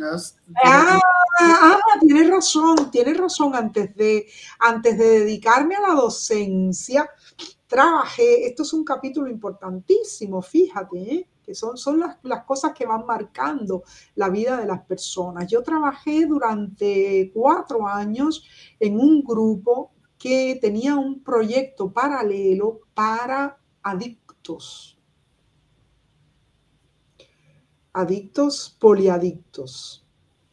Y entonces ahí hice muchos personajes, escribí, puse en escena en ese teatro. es, es eh, o sea, en español hay, hay, algunas, hay algunas cosas ahí. Los bandidos de Schiller, que hizo un personaje que es Kosinski, hay una sola foto creo de Kosinski ahí en el escenario con Cal, una escena solamente, pero bueno, está el personaje de, ah, eh, ah, mira, qué bien, ahí está, ahí estoy yo como Kosinski con Cal, el, protagónico de los bandidos, que es el que e, es una versión moderna, naturalmente, porque Kosinski es un hombre, pero yo hacía una rockera, estaba vestida y entonces cantando. Esto es haciendo Chekhov. Como yo estuve en Rusia, pues eh, claro, conocía muy bien. Chekhov fue un, autor que siempre conocí muchísimo. Esto fue haciendo la corista, si no recuerdo mal, de Chekhov. Eh, ahí con una actriz rusa. Ah, esto fue en otra. Ahí, aquí, esto fue, creo que fue el protagónico que yo realicé como Helena Winkler. No lo sé porque no me veo muy bien ahí. No sé si es. Hicimos muchas puestas en escena en este grupo, eh, donde estaban eh, también involucrados estas personas que hacían este trabajo tenía un corte social también, ¿no? Porque aquí el teatro, como el teatro pedagógico, después yo hago un proyecto en España, mira, eso se me olvidó ponerlo ahí en los dossiers que te entregué, otro proyecto que yo realicé en España, en la Sala Cero de España y en la EKS, que ya te estuve contando, esa maravillosa institución que es donde yo intento combinar siempre el trabajo social, porque el teatro es algo que tiene que, que, cambiar, para mí, ¿no? Para mí es importante que cuando haga teatro sea para cambiar algo, incluso cambiar la vida de la gente, porque los alemanes estos que eran poliadictos, eh, hay, que, hay que tener una muy, o sea, mi, mi, mi, espíritu se ha ido desarrollando mucho porque hay que tener mucha tolerancia, pero también tenía mucha tendencia a quejarse. Y uno al venir de Cuba y ver que se quejan de cosas, pues es algo que uno tiene como que metabolizar, uno no puede ver a la situación, o sea, no puedes ver la situación social de individuos que han estado marginados, incluso yo tuve que ver allí con personas obdachlose, obdachlose quiere decir los sin techo, los homeless, como se dice en inglés. y entonces hay que tener mucho cuidado, ¿no? Pero a través del teatro, que es la labor pedagógica de la que se sirve eh, la pedagogía, por eso después, eh, después no, eh, trabajé desde mucho antes como teatro, como pedagoga del teatro, aunque la, el título lo saqué después, el título lo saqué creo que fue en el 2008 o algo por el estilo, mm, pero claro, como tenía conocimientos tenía tan, tan vastos conocimientos realmente de, todo esto, pues eh, realicé muchísimos proyectos sin haber todavía sacado el título y el título lo saqué un año porque nada más que tenía que hacer la asignatura de pedagogía, todas las demás las fui, las pude examinar sin necesariamente tener que concurrir, pues si no hubiera tenido que hacer tres años de, de Ausbildung, que se llama, ¿no? De preparación pedagógica o algo así. Querida, a mí me gustaría eh, llegar a un punto donde me hablaras del activismo. Mm. Vamos a hablar del activismo y de eh, dos preguntas fundamentales. Ya, eh, ya vamos por el una hora 23. Uy, sí, hay que resumir. Ocurre. Pero está bien. estamos en buen tiempo aún. Y quería preguntarte cómo surge la idea de Berlín Opus Cuba de quién es la iniciativa y cómo eh, te vemos muy involucrada en, las redes, te vemos muy involucrada frente a las manifestaciones en, Berlín, en, Alemania, eh, las manifestaciones a favor de la libertad y la democracia en Cuba. Bueno, antes que eso, yo quisiera hacerte una pregunta. Tú que viviste todo el proceso de, eh, la caída del bloque socialista, ¿tú crees que el comunismo, el, el, el socialismo es tan nefasto como el fascismo? ¿Tú crees que debería ser pro prohibido? Bueno, no es que debería ser, es que está prohibido. La, Comunidad Europea extendió un decreto, eh, creo que fue en el año, habría que buscar en Google, ya la memoria me falla, pero siempre vuelvo en mis escritos al Parlamento, a los políticos y tal, ese yo creo que es una de las cartas con las que yo siempre peleo y es una de las cuestiones, una de las verdades que suelo escribir. Si en Europa está prohibido el comunismo, porque ha sido comparado y tan prohibido como el fascismo, ¿cómo puede querer la izquierda europea que haya en Cuba o sigue defendiendo todavía una dictadura que se dice socialista? Pero acá en España hay un partido comunista, Caridad.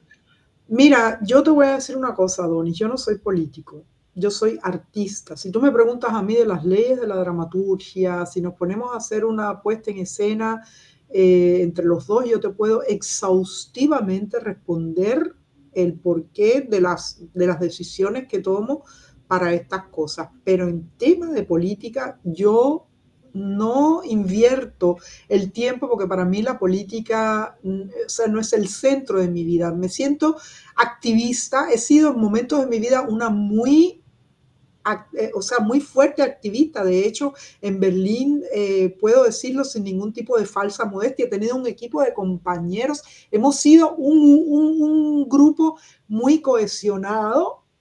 Ahí está la actriz María Magdalena González Atao, que es una de las intérpretes de mis poemas, eh, maravillosa y con la que y la que me ha inspirado también esta obra de Vulnerable, porque es una actriz también fantástica. Entonces, eh, sí es cierto que yo he sido, he asumido la responsabilidad que ellos pusieron en mis manos, pero dentro del grupo Opus Cuba, que ahora te voy a contar inmediatamente cómo surge y cómo nació, cada cual ha tenido una responsabilidad igual de importante, porque, o sea, Berlín Opus Cuba surge a raíz de la, los sucesos de San Isidro. Como te conté, uno de mis grandes amigos, incluso es como un hijo para mí, prácticamente es el, primo hermano de eh, Ariel y Omar Ruiz Uquiola. Entonces, em, en aquel momento nosotros nos enteramos de lo que estaba pasando en Cuba, naturalmente, y empezamos eh, aquí dentro de la casa a reunirnos amigos, eh, pues yo, yo, yo, siempre he estado eh, vinculada, vinculada poderosamente a todo el proceso. De hecho, hay, hay fotos que debía haberte puesto, de verdad se me pasó, porque son aquellas fotos en que éramos Jorge Luis García Vázquez, un importante personaje de la oposición en Berlín, porque estuvo preso en el tiempo de la RDA. Éramos Amir Valle, Jorge Luis García Vázquez y yo, y Boris Luis Santa Coloma también. Em, ¿Vale? Entonces, Amir, Jorge Luis y yo estamos retratados en, con, uno de los 75 que vino aquí, vino Berta Soler, también tengo una foto con Berta Soler cuando vino en el momento aquel en que nos recibió Guido Westervele. Eh, eran los años, em, ¿en qué año vino Berta Soler que nos recibió Guido Westervele? Fue posterior a la liberación de los 75, en lo que en, el proceso en el cual yo incidí también extraordinariamente, vuelvo y repito que en aquella época no había redes sociales, es decir, activa siempre estado. Eh, ¿Qué pasa? Cuando se producen los sucesos de San Isidro, nosotros estábamos aquí, mira, ahí está Daniela Rojo, que acabadita de llegar a Alemania, la trajimos eh, como te digo, es como un esfuerzo mancomunado entre todos los, la gente del grupo, pues claro, se reúne dinero para pagar los pasajes, las estancias de la gente. Es algo, a nosotros no nos paga la CIA, desafortunadamente. Ojalá la CIA se preocupara por eso. Eh, ¿Vale? nos, debe, cheques a todo el mundo, ¿no? Debe cheques a todos. A me debe uno grandísimo. ¿eh? Sí, señor. Bueno, pues entonces aquí empezamos a sufrir, a escribir y se produce un movimiento internacional como todo el mundo sabe, yo recuerdo aquí sí Macías, la gente de allá de los Estados Unidos, eh, de, de, ¿cómo se llama este grupo? Eh, de los Omni, ¿cómo se llama el chico de Omni? Omni Zona Franca, a Mauri Pacheco o ah, Mauri estaba en Cuba, no, lo que están Omni en Miami. Ah, Empiezan a establecer contacto. David, de Omni. David, eh, no, el esposo de Kissy. Luis Eligio. Luis Eligio. Toda esa gente empezó. A mí me invitan una noche, yo no recuerdo. Ah, tiene que haber sido a través de Omara. Naturalmente, Omara me va a matar cuando oiga esto si lo oye, porque Omar estaba dentro de San Isidro. Y Mandy, mi, mi, hermano, mi hijo, mi, lo que tú le quieras poner, aquí estamos eh, muy, muy unidos nosotros, somos como una familia, pues entonces sufriendo por lo que estaba pasando en San Isidro y todo. Entonces una noche, por una razón que yo no recuerdo, ni cómo fue tampoco lo recuerdo, ya digo, las redes sociales son una vía muy directa de contactar con la gente eh, me invitan a una reunión donde estábamos todos los que queríamos a nivel internacional, pues apoyar a San Isidro. Fue un proceso, creo que ahí estaba Salomé García Bacallao también, que en aquel momento creo que vivía en Valencia, ahí conozco a, ah, no, Ana Meli estaba también dentro de San Isidro, ahí rodeada. Había otro muchacho aquí en el norte de Alemania que, cuyo hermano o medio hermano era uno de los, de los eh, rodeados en San Isidro. hay un día, nosotros dijimos, bueno, como esta gente hacían poesía, la gente de Luis el Hijo y qué sé yo, nosotros también éramos poetas, artistas y tal, salimos todos el 5 de diciembre de ese año a apoyar, que son las, las, eh, las fotos, bueno, esas fotos están dentro del, dentro de dentro de la página web de Berlín Opus Cuba. Esa creo que no te las mandé eh, directamente en ningún otro dossier, pero sí están en la página web de Berlín Opus Cuba, donde está esa foto famosa que está el muro atrás. Creamos como un teatro allí. El muro era nuestra, eran nuestras culises, nuestras eh, telones de fondo, y ahí empezaron a desfilar artistas. Ahí conocí a Bilio, a, Bilio Suárez, que es también graduado de LISA, dramaturgo, Ahí estuvo María Magdalena González, Ernesto Rodríguez, que era también del dúo Postrova en Cuba, eh, que vive aquí. Bueno, todo el que se quiso involucrar para... Vamos a, poner por producción algunas imágenes de las manifestaciones de Opus Cuba en video. Si pueden ir acompañando, por favor. Sí. Bueno, esto es muy posterior. Esta fue ya el, al año siguiente de, esto fue una gran manifestación. Las manifestaciones más grandes que se han hecho en Alemania, debo decirlo, las hemos hecho nosotros.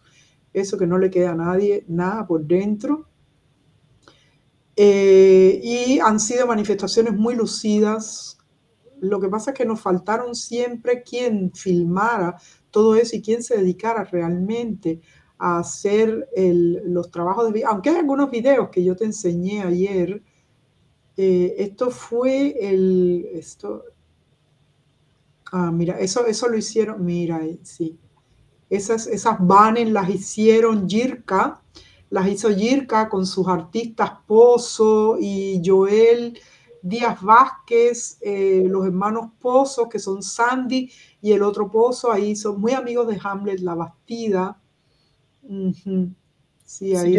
Si quieres, ir siguiendo, seguir hablando y contando el relato mientras las imágenes. Bueno, pues esto es una de las más grandes manifestaciones que hicimos. Aquí eh, vinieron gente de todas partes eh, frente al Parlamento Europeo por los presos políticos, por la libertad de los presos políticos, por la libertad de Cuba, dándole visibilidad. Ya esto es cuando Opus Cuba estaba muy, muy consolidado ya, ¿no? Fíjate que ahí se involucra eh, muchos artistas, cada cual tenía un pedacito, habían ya micrófonos, nos construyó Lalo, uno de nuestros, que es expreso político también, en una época en que ya te digo, no existían las, las redes sociales, nos hizo el escenario, nosotros tenemos hasta escenario, y todo, todo, todo, todo hecho por nosotros. Y mm, ah, míralo ahí, está ahí atrás, el que está ahí atrás. Este es un periodista alemán y que está, y Lalo tiene puesta la, la cosa esa que había que usar porque estábamos en medio de la pandemia del COVID.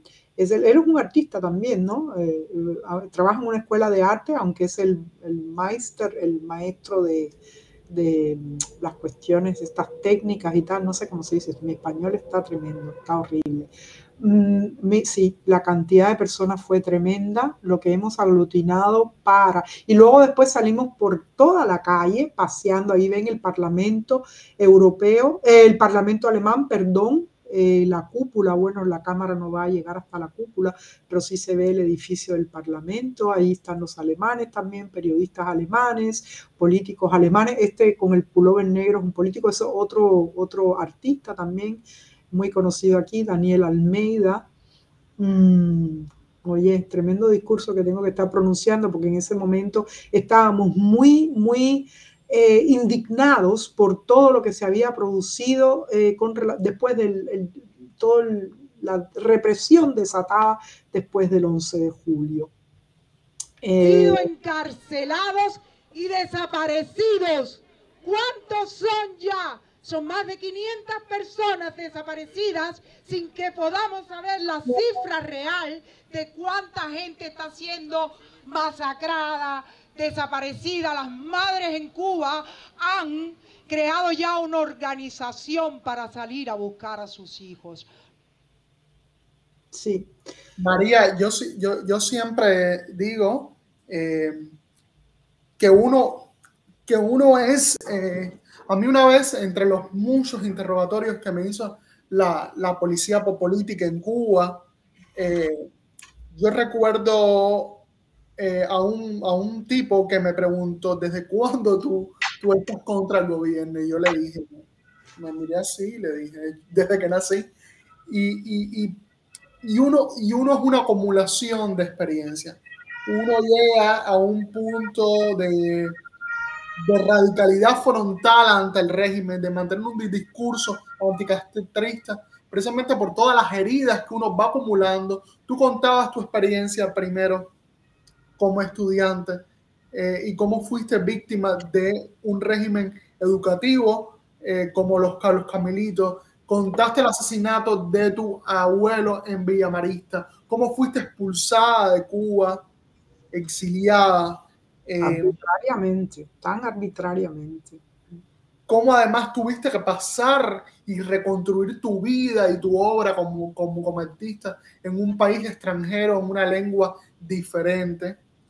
Eh, María, yo quiero preguntarte a este punto eh, de que nosotros estamos, en este punto incierto, en este punto, a veces duele decirlo, de, desesperanzador eh, sobre el futuro de Cuba.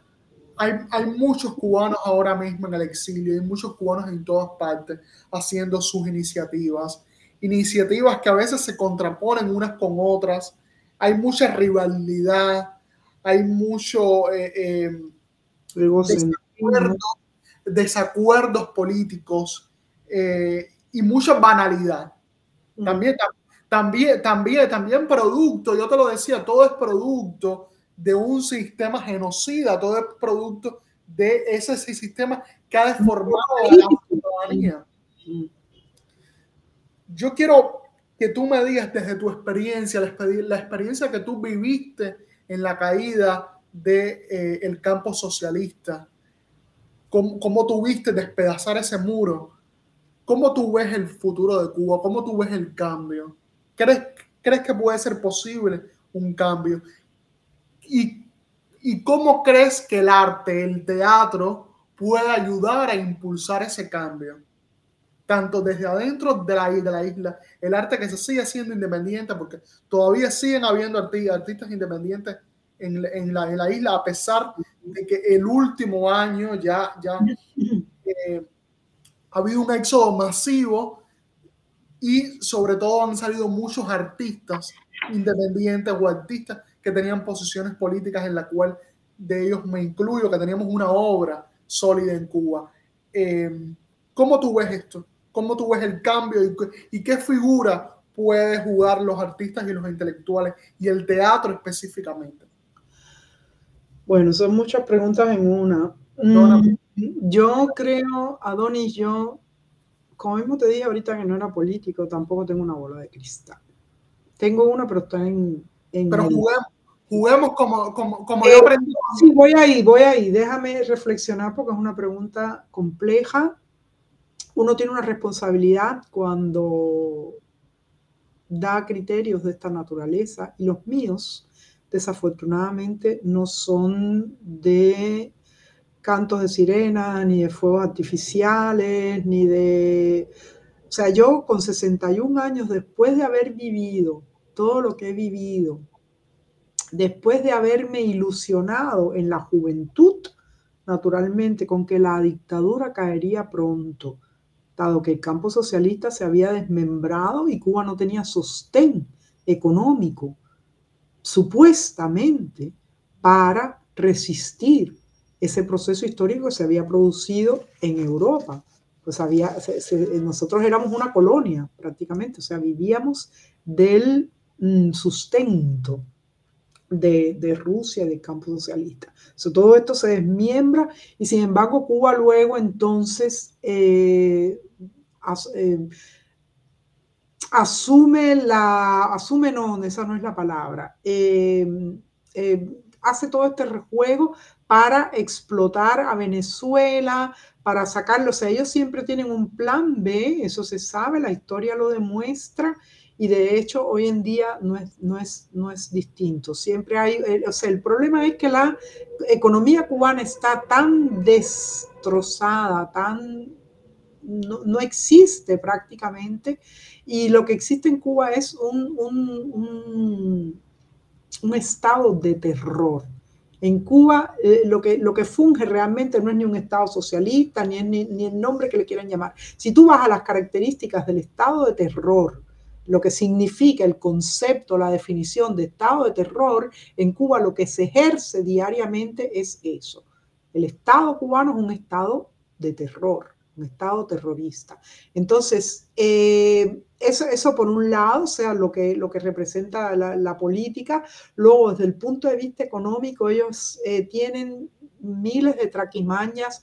Eh, lo, de, lo de los eh, las monedas convertibles, eso yo ni lo entiendo, ni, lo, ni me he metido cabeza a querer entenderlo, ni nada de eso. Eso es totalmente absurdo, e, e, inentendible. La absurdidad es tremenda, pero lo que yo sí sé muy bien, y lo sabemos todos los cubanos que reflexionamos sobre eso, es que hay un ejército de cubanos, no solamente dentro de Cuba, eh, a merced de ese estado de terror, sino fuera de Cuba. El ejército de cubanos que manda dinero a Cuba, le da sostén también, más. Toda la otra cosa que yo sé muy bien, porque desafortunadamente tengo personas muy allegadas que son parte de ese ejército de sicarios y siervos del régimen cubano, es que ellos tienen una cantidad de abogados, profesionales por el mundo haciendo negocios bueno, ya explotó en Londres, ahora explotaron los suizos otra vez, porque Cuba, desde la época en que mi madre era, de, era una directora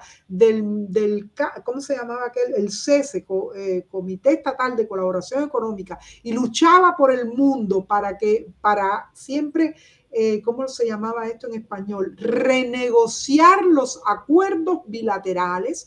Mi propia madre decía que Cuba no pagaba, ya tenía grandes problemas en el extranjero y eran países, mi madre atendía China, China, Vietnam y todos esos países que no tengo que contar en la historia el rol que han ido jugando dentro de mm, la historia de las últimas décadas en Cuba. Entonces, ¿cómo es, cómo se ve el futuro de Cuba? Yo no lo sé primero ah, llevo 35 años, creo, si no más, fuera de Cuba. Por lo que oigo, tú acabas de caracterizarlo. Entonces, la única cosa que yo he aprendido es que las cosas son como son, Adonis. Yo no, o sea, ¿qué, ¿qué, me vale a mí? Yo no me pongo tampoco en reflexionar, yo jamás ni me pregunto eso, cómo va a ser el futuro. Yo vivo en el presente.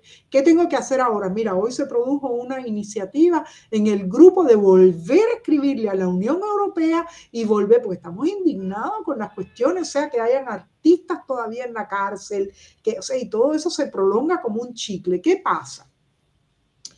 El pueblo cubano, la masa, no vamos a hablar de los intelectuales, porque esas divisiones entre los intelectuales y qué sé yo, yo sé que existen, de hecho yo las he sufrido también, a pesar de que nosotros hemos nucleado muchísima gente eh, y se supone, o algunos gustan de decir que somos intelectuales, los que hemos estado a la cabeza del grupo y tal. yo creo que eso no es lo relevante. ¿Qué cosa es un intelectual? Tampoco lo voy a, debatir ahora, ya tenemos que ir cerrando el programa, creo yo. Entonces, ¿cómo es el futuro? Yo, yo podemos hablar de cómo es el presente. Si nosotros trabajamos bien en el presente, que es lo que nos tiene que ocupar y preocupar, pues yo creo que el futuro se acelerará o seguirá, como algunos dicen, 60 años más de dictadura y tal, lo cual naturalmente no se lo deseo. Yo no creo que yo a mí la vida me dé para ver el fin o la libertad de Cuba. ¿Qué será la libertad de Cuba? Eh, esa dictadura que hay ahí. O sea, yo, yo lo que sí veo es una conexión clarísima entre la manipulación mental de la gente. Constantemente tú ves en las redes o a la gente decir, ¿cómo pueden defender todo eso? Pero nadie se pregunta cuáles son los procesos de que históricamente existen, porque Cuba no es un caso aislado. Lo que pasa en Cuba ha pasado históricamente en la historia de la humanidad cómo pudieron en Rusia unir todos esos países de culturas diferentes y tal bajo el marxismo-leninismo y lavarle el cerebro a la gente durante 72 años que, que duró. Eh, nosotros vamos por 64 y somos una isla aislada. Eh, geográficamente, quiero decir. o sea que no hay movimiento como aquí en Europa, que la gente se escapaba, huía, no sé qué, por las fronteras. Eh, ¿Qué importancia? Entonces, eso es, es, como es. Eso yo lo digo en alemán. Es, es so es, es, es, como es. La historia es como es, lo que se está produciendo. Yo veo un nivel bajísimo, Adonis, y cada, cada vez el, el Estado, ese estado de terror, se preocupa porque el nivel de las masas sea menor. Hay un proceso muy claro en las escuelas, Adonis. Cuando tú vas a la intelectualidad. Yo pienso que su principal arma del régimen Además, el miedo también es eh, la ignorancia y el hambre. Ese es su principal arma. O sea, ellos tienen un pueblo hambriento e ignorante. Entonces, en cuanto a la cantidad, yo estoy en grupos, de verdad, que yo a veces leo las cosas que leo ahí y me quedo flipada, pero la juventud tiene que hacer sus experiencias, por eso yo nunca digo nada. Yo lo que, lo que hagan lo aplaudo y lo apoyo siempre, que vea la esencia humanista en las tendencias que, mm, que, a las que en las que participo, ¿no? no en chismes, no en cederistas que entonces cogen a uno y lo coger ranking en sus programas y qué sé yo, y lo hacen papilla, no, ahí jamás me verás a mí, jamás me habrás visto participar ni ser invitada en ninguno de esos programas, no me interesa en lo absoluto. Eh, a mí me interesa que mm, la gente aprenda a reflexionar. A mí me interesa que la gente aprenda a amarse a sí misma. A mí me interesa que la gente aprenda sobre libertad personal. Por eso soy muy amiga de Ariel. Ruiz Uquiola, porque Ariel habla siempre de eso. El individuo tiene, tenemos que ser realistas, caballero, ese cuento de patria, de que si el país libre, no, no, no, tú no puedes ser libre, ni el país será nunca libre, hasta que las masas no empiecen realmente a sentirse Em, hasta que el individuo a sí mismo no sea capaz de sentirse, de sentir su cuerpo, de sentir sus límites, de sentir sus emociones, cómo las proyecta, porque eso no lo facilita naturalmente eh, ningún proceso educativo bajo el sistema socialista. O sea, por eso es que yo sostengo conscientemente para aquellos que son de izquierda y que si dicen que el socialismo y que si la teoría y que si no se practicó la teoría y todo eso, esos son todos cuentos chinos, es la historia de la humanidad. La maldad y el, es el, la dualidad esta del individuo entre lo bueno y lo malo, entre el bien y el mal, es una lucha que está históricamente en, en, en toda, en toda el arte incluso el teatro. Tú, volvamos a tu pregunta al punto, ¿qué rol tiene el teatro? El teatro vive de conflictos, pues bueno, tenemos que aprovechar desde la, desde la antigüedad, el teatro es eso, un reflejo de la sociedad. ¿Qué podemos hacer nosotros? Concientizar eso, reflejarlo desde el punto de vista estético, eh, que, que, que, si queremos hacer un teatro político, pues bueno, que más llegue a la gente, que, con el cual la gente se identifique. Yo creo que la labor humanista tiene que privar, eh, tiene que primar, tiene que primar Adonis. Yo quería hacer, hacer un, un pequeño paréntesis antes de terminar el programa y, y, pedirte dos cosas. Uno es una pregunta que está enfocada al teatro específicamente y otra es que cierres con un poema tuyo, una lectura de, de, poema. Mi pregunta es, desde tus vivencias, em, tanto en Rusia, en el, antiguo campo socialista, o en la alemana, eh, Alemania eh, socialista, el teatro específicamente, el teatro en Cuba, dice contestatario o no, trabaja al servicio de las instituciones, trabaja mediador de las instituciones. Todo teatro que trabaje al respaldo de la dictadura castrista, que trabaje en una institución, los discursos, perdóname, de eh, personas como Nelda Castillo, Carlos Celdrán, que fue eh, compañero mío de escuela. Compañero de escuela, son de que no hubieran podido mantener su obra si no tuvieran el respaldo institucional, no pudieran tener la obra consolidada que indiscutiblemente tienen. Desde mi, punto de vista, que soy un, defensor del espacio independiente, del espacio del arte independiente, yo pienso que no solamente estamos hablando de arte político, estamos hablando del espacio independiente, que sean las cosas independientes, ya sea un O'Neill o un Tennessee Williams, pero de una manera independiente en Cuba, y eso es un acto de resistencia, de no pactar con la dictadura. Y cuando te hablo del teatro, te hablo de cualquier actividad.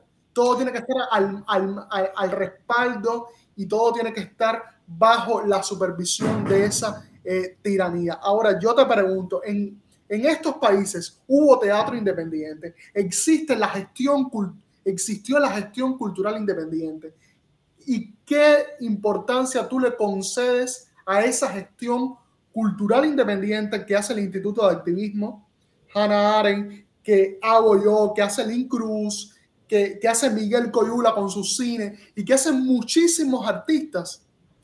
¿Y qué, qué importancia tú le concedes y qué le dirías a esos artistas que se siguen manteniendo al respaldo de la institución porque aquello le asegura una obra más sólida? Bueno, así empezamos hablando. Eso es una, yo, yo lo voy a decir con toda sinceridad. Eh, es muy duro, o sea, nosotros, o por lo menos yo, voy a hablar de mí, que es de la que mejor puedo hablar, lo veo en Link, que se ha convertido entre medias en una entrañable persona para mí, Miguel, tú, entre medias también. Eh,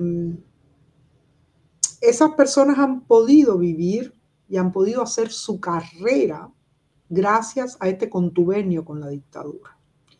Es, es una cosa realmente desgarrante porque en mi caso yo eh, mm, decidí, eh, system, ¿cómo se dice? Eh, decidí romper con todo a un precio, Adonis que te puede costar la vida. Y lo digo sin eufemismo, lo digo sin cuento chino ni nada por el estilo. Porque 15 años sin, sin eh, ejercer tu labor como cineasta y, vivir sin familia, se murió mi madre y no la pude ver. O sea, las rabias que uno va acumulando por dentro son para empezar a llorar aquí ahora mismo ¿eh? y estar llorando sin parar, cosa que yo no he hecho durante mucho tiempo, durante décadas no se va fortaleciendo. Yo veo a esa gente con un talento tremendo, pero con una posición humana que a un tiempo no me atrevo a juzgar del todo, pero sí puedo decir mi, mi, mi criterio, o sea, no es que lo juzguen ni nada de eso, pero no tienen nada que ver conmigo, si tienen mérito o no, porque la, lista es larga.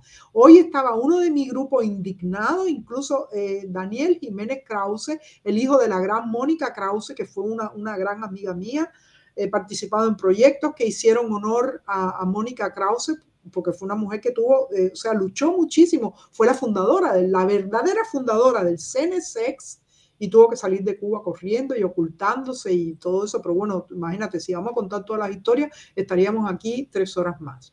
¿Vale? Entonces, Daniel Jiménez Krause, que es una de las personas también dentro del grupo importantísima, o sea, desde el punto de vista financiero, desde el punto de vista intelectual y todo esto, pues estaba hoy planteando justamente el otro día, hace poco, en las redes diciendo, somos unos miserables, ¿cómo pueden existir? ¿Cómo todos esos artistas dentro de Cuba? Lo dije al principio con Luis Alberto García, yo sé que es un actor que lo adoran muchísimo, que lo quieren cantidad y todas esas cosas, pero para mí, esta que está aquí, el que mantenga contubernio con la dictadura es su problema eh, es algo para mí execrable, lo digo sin ningún tipo. Sé que el precio que hay que pagar es alto. Sus posiciones de privilegios, querida.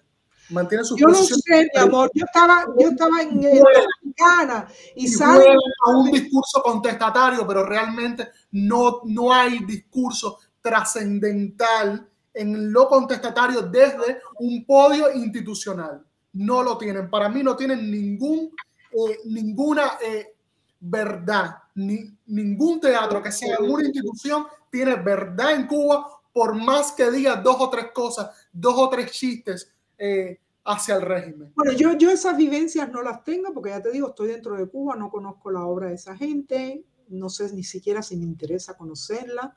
Me acerco mucho a la obra de Lin, me acerco extraordinariamente a la obra de Miguel Coyula, son dos intelectuales para mí dentro de Cuba importantes que sí están resistiendo y, sufriendo la presión esa y tal y cual. Em, e, es un precio altísimo, pero hay hay una cuestión, Adonis, que para mí sostiene eso que tú acabas de decir, que yo lo asumo como mío también.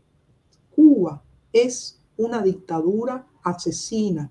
Ha masacrado, para decirlo con las palabras de Kundera, porque ni siquiera son palabras mías, ha masacrado la cultura de nuestra nación. Y entiéndase por cultura el quehacer del individuo. Entonces, para mí el artista, y lo digo sin que me quede nada por dentro, por suerte tengo ahí el apoyo de un hombre como Amir Valle y otros intelectuales eh, que realmente eh, han sacrificado muchísimo, pero incluso más allá del exilio han logrado una obra. O sea, el escritor de por sí que puede escribir solamente y tal, pues bueno, eh, nosotros los teatristas la tenemos un poco más difícil, los cineastas y tal, eh, en fin, la vida se nos complica con muchas cosas si te dedicas a la pedagogía más porque absorbe muchísimo tiempo. En este momento estoy dedicada solamente a mi carrera nuevamente, pero hay un factor para no irme del, del centro de esta esencia tan importante que has llamado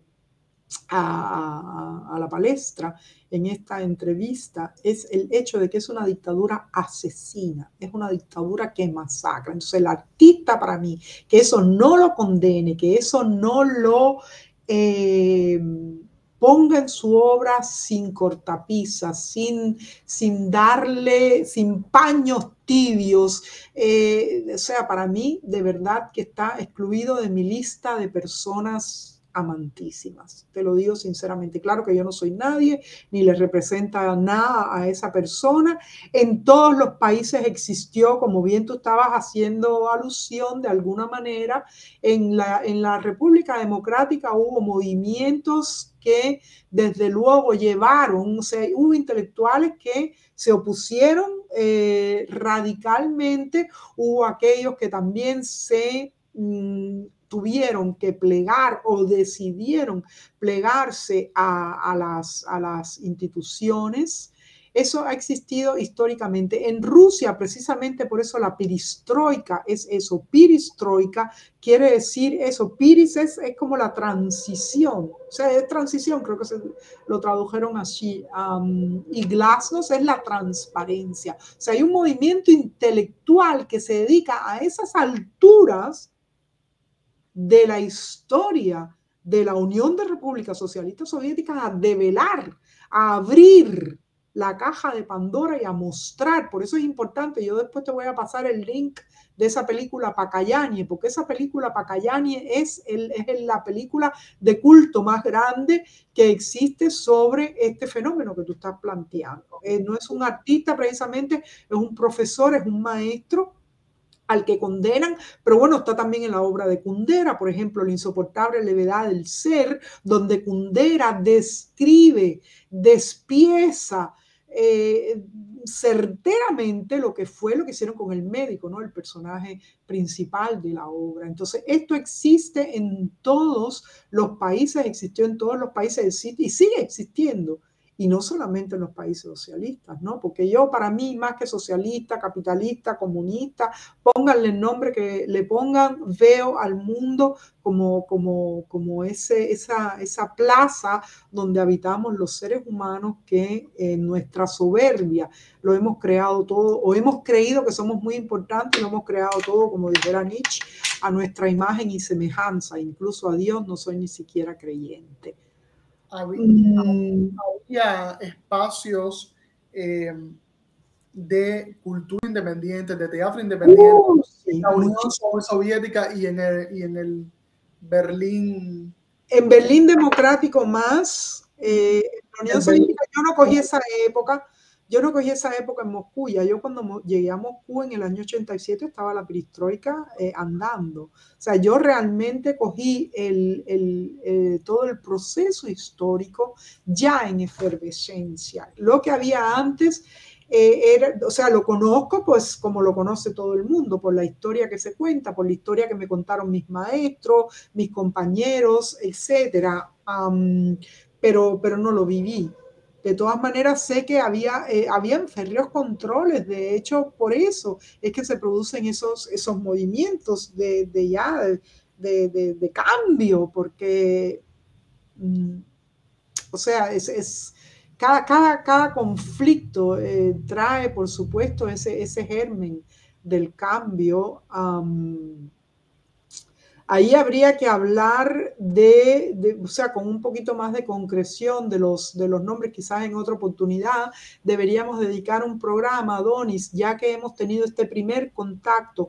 Yo sí creo que es importante y lo propongo a instar, te lo propongo a ti, a Tania, quien quiera que sea quien debe eh, decidirlo.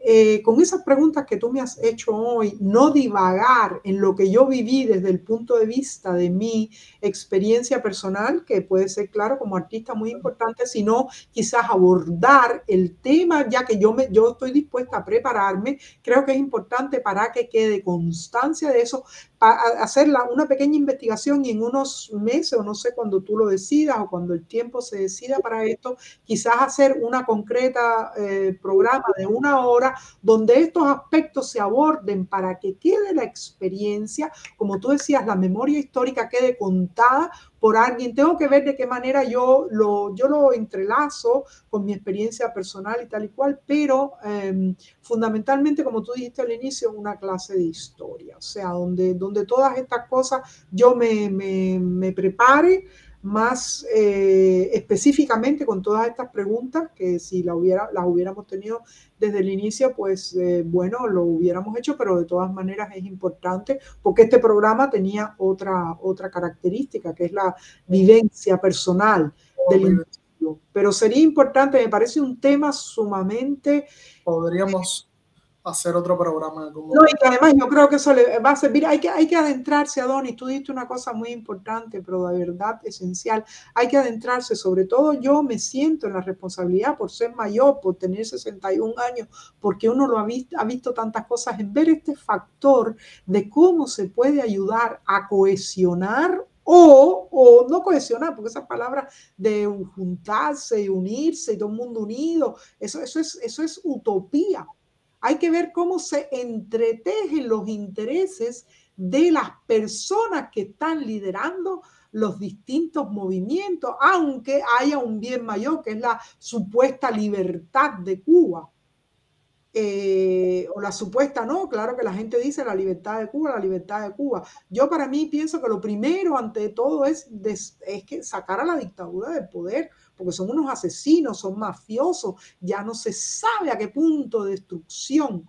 Yo tengo un poema, en el poemario este que acabo de sacar, eh, tengo un poema que se llama eh, La isla experimento y siempre vuelvo y vuelvo y vuelvo y vuelvo al tema de esa isla experimento porque de verdad que es, es genocidio. He tenido muchísimas discusiones con los alemanes, porque los alemanes dicen que yo estoy usando una terminología donde los parámetros del genocidio no corresponden con lo que pasa en Cuba. Entonces yo me he dedicado a argumentar lo que pasa en Cuba a partir de esos parámetros porque eh, manipular la mente de la gente, hambrear a la gente, que se produzcan las pandemias, que se produzcan las muertes y las cosas que no se saben porque realmente el régimen no, eh, o sea, las trata de solapar. Entonces, ¿cómo me van a decir a mí que el genocidio, por eso le llamo neogenocidio, ¿no? Para encontrar ahí una especie de, de, de, de punto de articulación donde, donde mis argumentos sean escuchados. Y así se lo queremos trasladar también a los políticos estos europeos que te decía que, teníamos hoy otra vez una nueva iniciativa de volver a escribir y seguir insistiendo y, exigir desde nuestra posición, sea cual sea, como, como activistas o artivistas, como dice Tania Bruguera, por la libertad y por la humanidad en Cuba. Esto no es de política, esto va de humanidad, que la única vida que tenemos tengamos, la podamos vivir eh, a plenitud. Y una de las grandes cosas que, tiene la vida es aprender, eh, vivir, eh, disfrutar de la dignidad y de la libertad. Eso,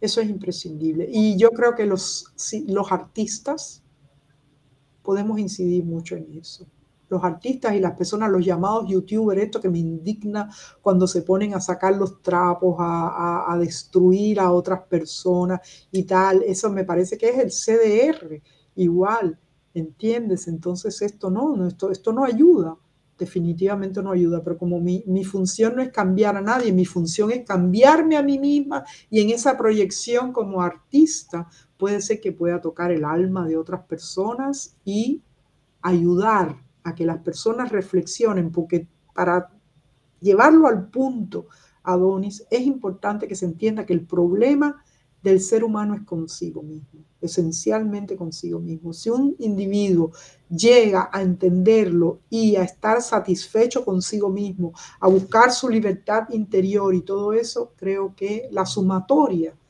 de esas satisfacciones, la sumatoria de esas energías, la sumatoria de esas fuerzas, es lo que puede llevar a una sociedad a que avance. la cosa es mucho más compleja que esa, pero bueno, de todas maneras yo propongo realmente que se haga un estudio de cómo ocurrió en los países estos del campo social. Eso sería muy interesante propuesta que, que creo que, que, que el instituto puede asumirla bastante bien. Querida, me gustaría que me leyeras algo para terminar. Ya nos hemos pasado de una, de dos horas, pero no importa. Ay, yo que no quería, yo que quería solamente dedicar una hora al programa. Ha sido interesante. Eh, ¿qué es? Por lo general, tiene que ser algo corto. ¿eh? Por, lo, general, mis estratos duran eh, de una, una hora cuarenta a una hora cincuenta, así que no, no hay problema. Bueno, pero esto se pasó entonces más de, lo, más de la cuenta. Yo no sé, hay un, poema que siempre me piden, que es el poema Cuba, pero no sé, voy a leer Destierro y a lo mejor si pasa muy rápido leo Cuba al final. Destierro. Großen Wahnsinnig. Joseph Campbell, Fromm y mis abuelos. Asesinados los dos. Yo en el destierro. Riemann mi Biblia. Dreyer, Lacan no explican el delirio que me devanan los sesos. Depresión postnatal. Yo en el destierro. Nadie se asomará a otear tanto tufo intrincado. Meadero. El destierro de Jesús en su cruz. En Moscú Jesús sería un extranjero. Alberto, inundación de un Camus, totalmente ciego. Riemann dice que el miedo se trenza en los atuendos. La veleta persigue al gallo cantor que hoy ya no tengo. hambre incesante del impostor, canto animal del poseso, hipotálamo en mis narices, en mis papilas gustativas, solo destierro, en forma de Grelingsstörung, Magen bypass, anuncia muertos. ¿Alguna vez habrá fin para esta gula incesante de Pantagruel sin Morfeo? Desesperación, destierro, destierro, destierro. Madre Cuervo, zona postal, Habana 4, pedestal, mulas sin dueño, muletas insaciables con almohadas como todos mis talentos los desterré al escuchar el grito del azar ciego. Y hoy solo me queda el destierro.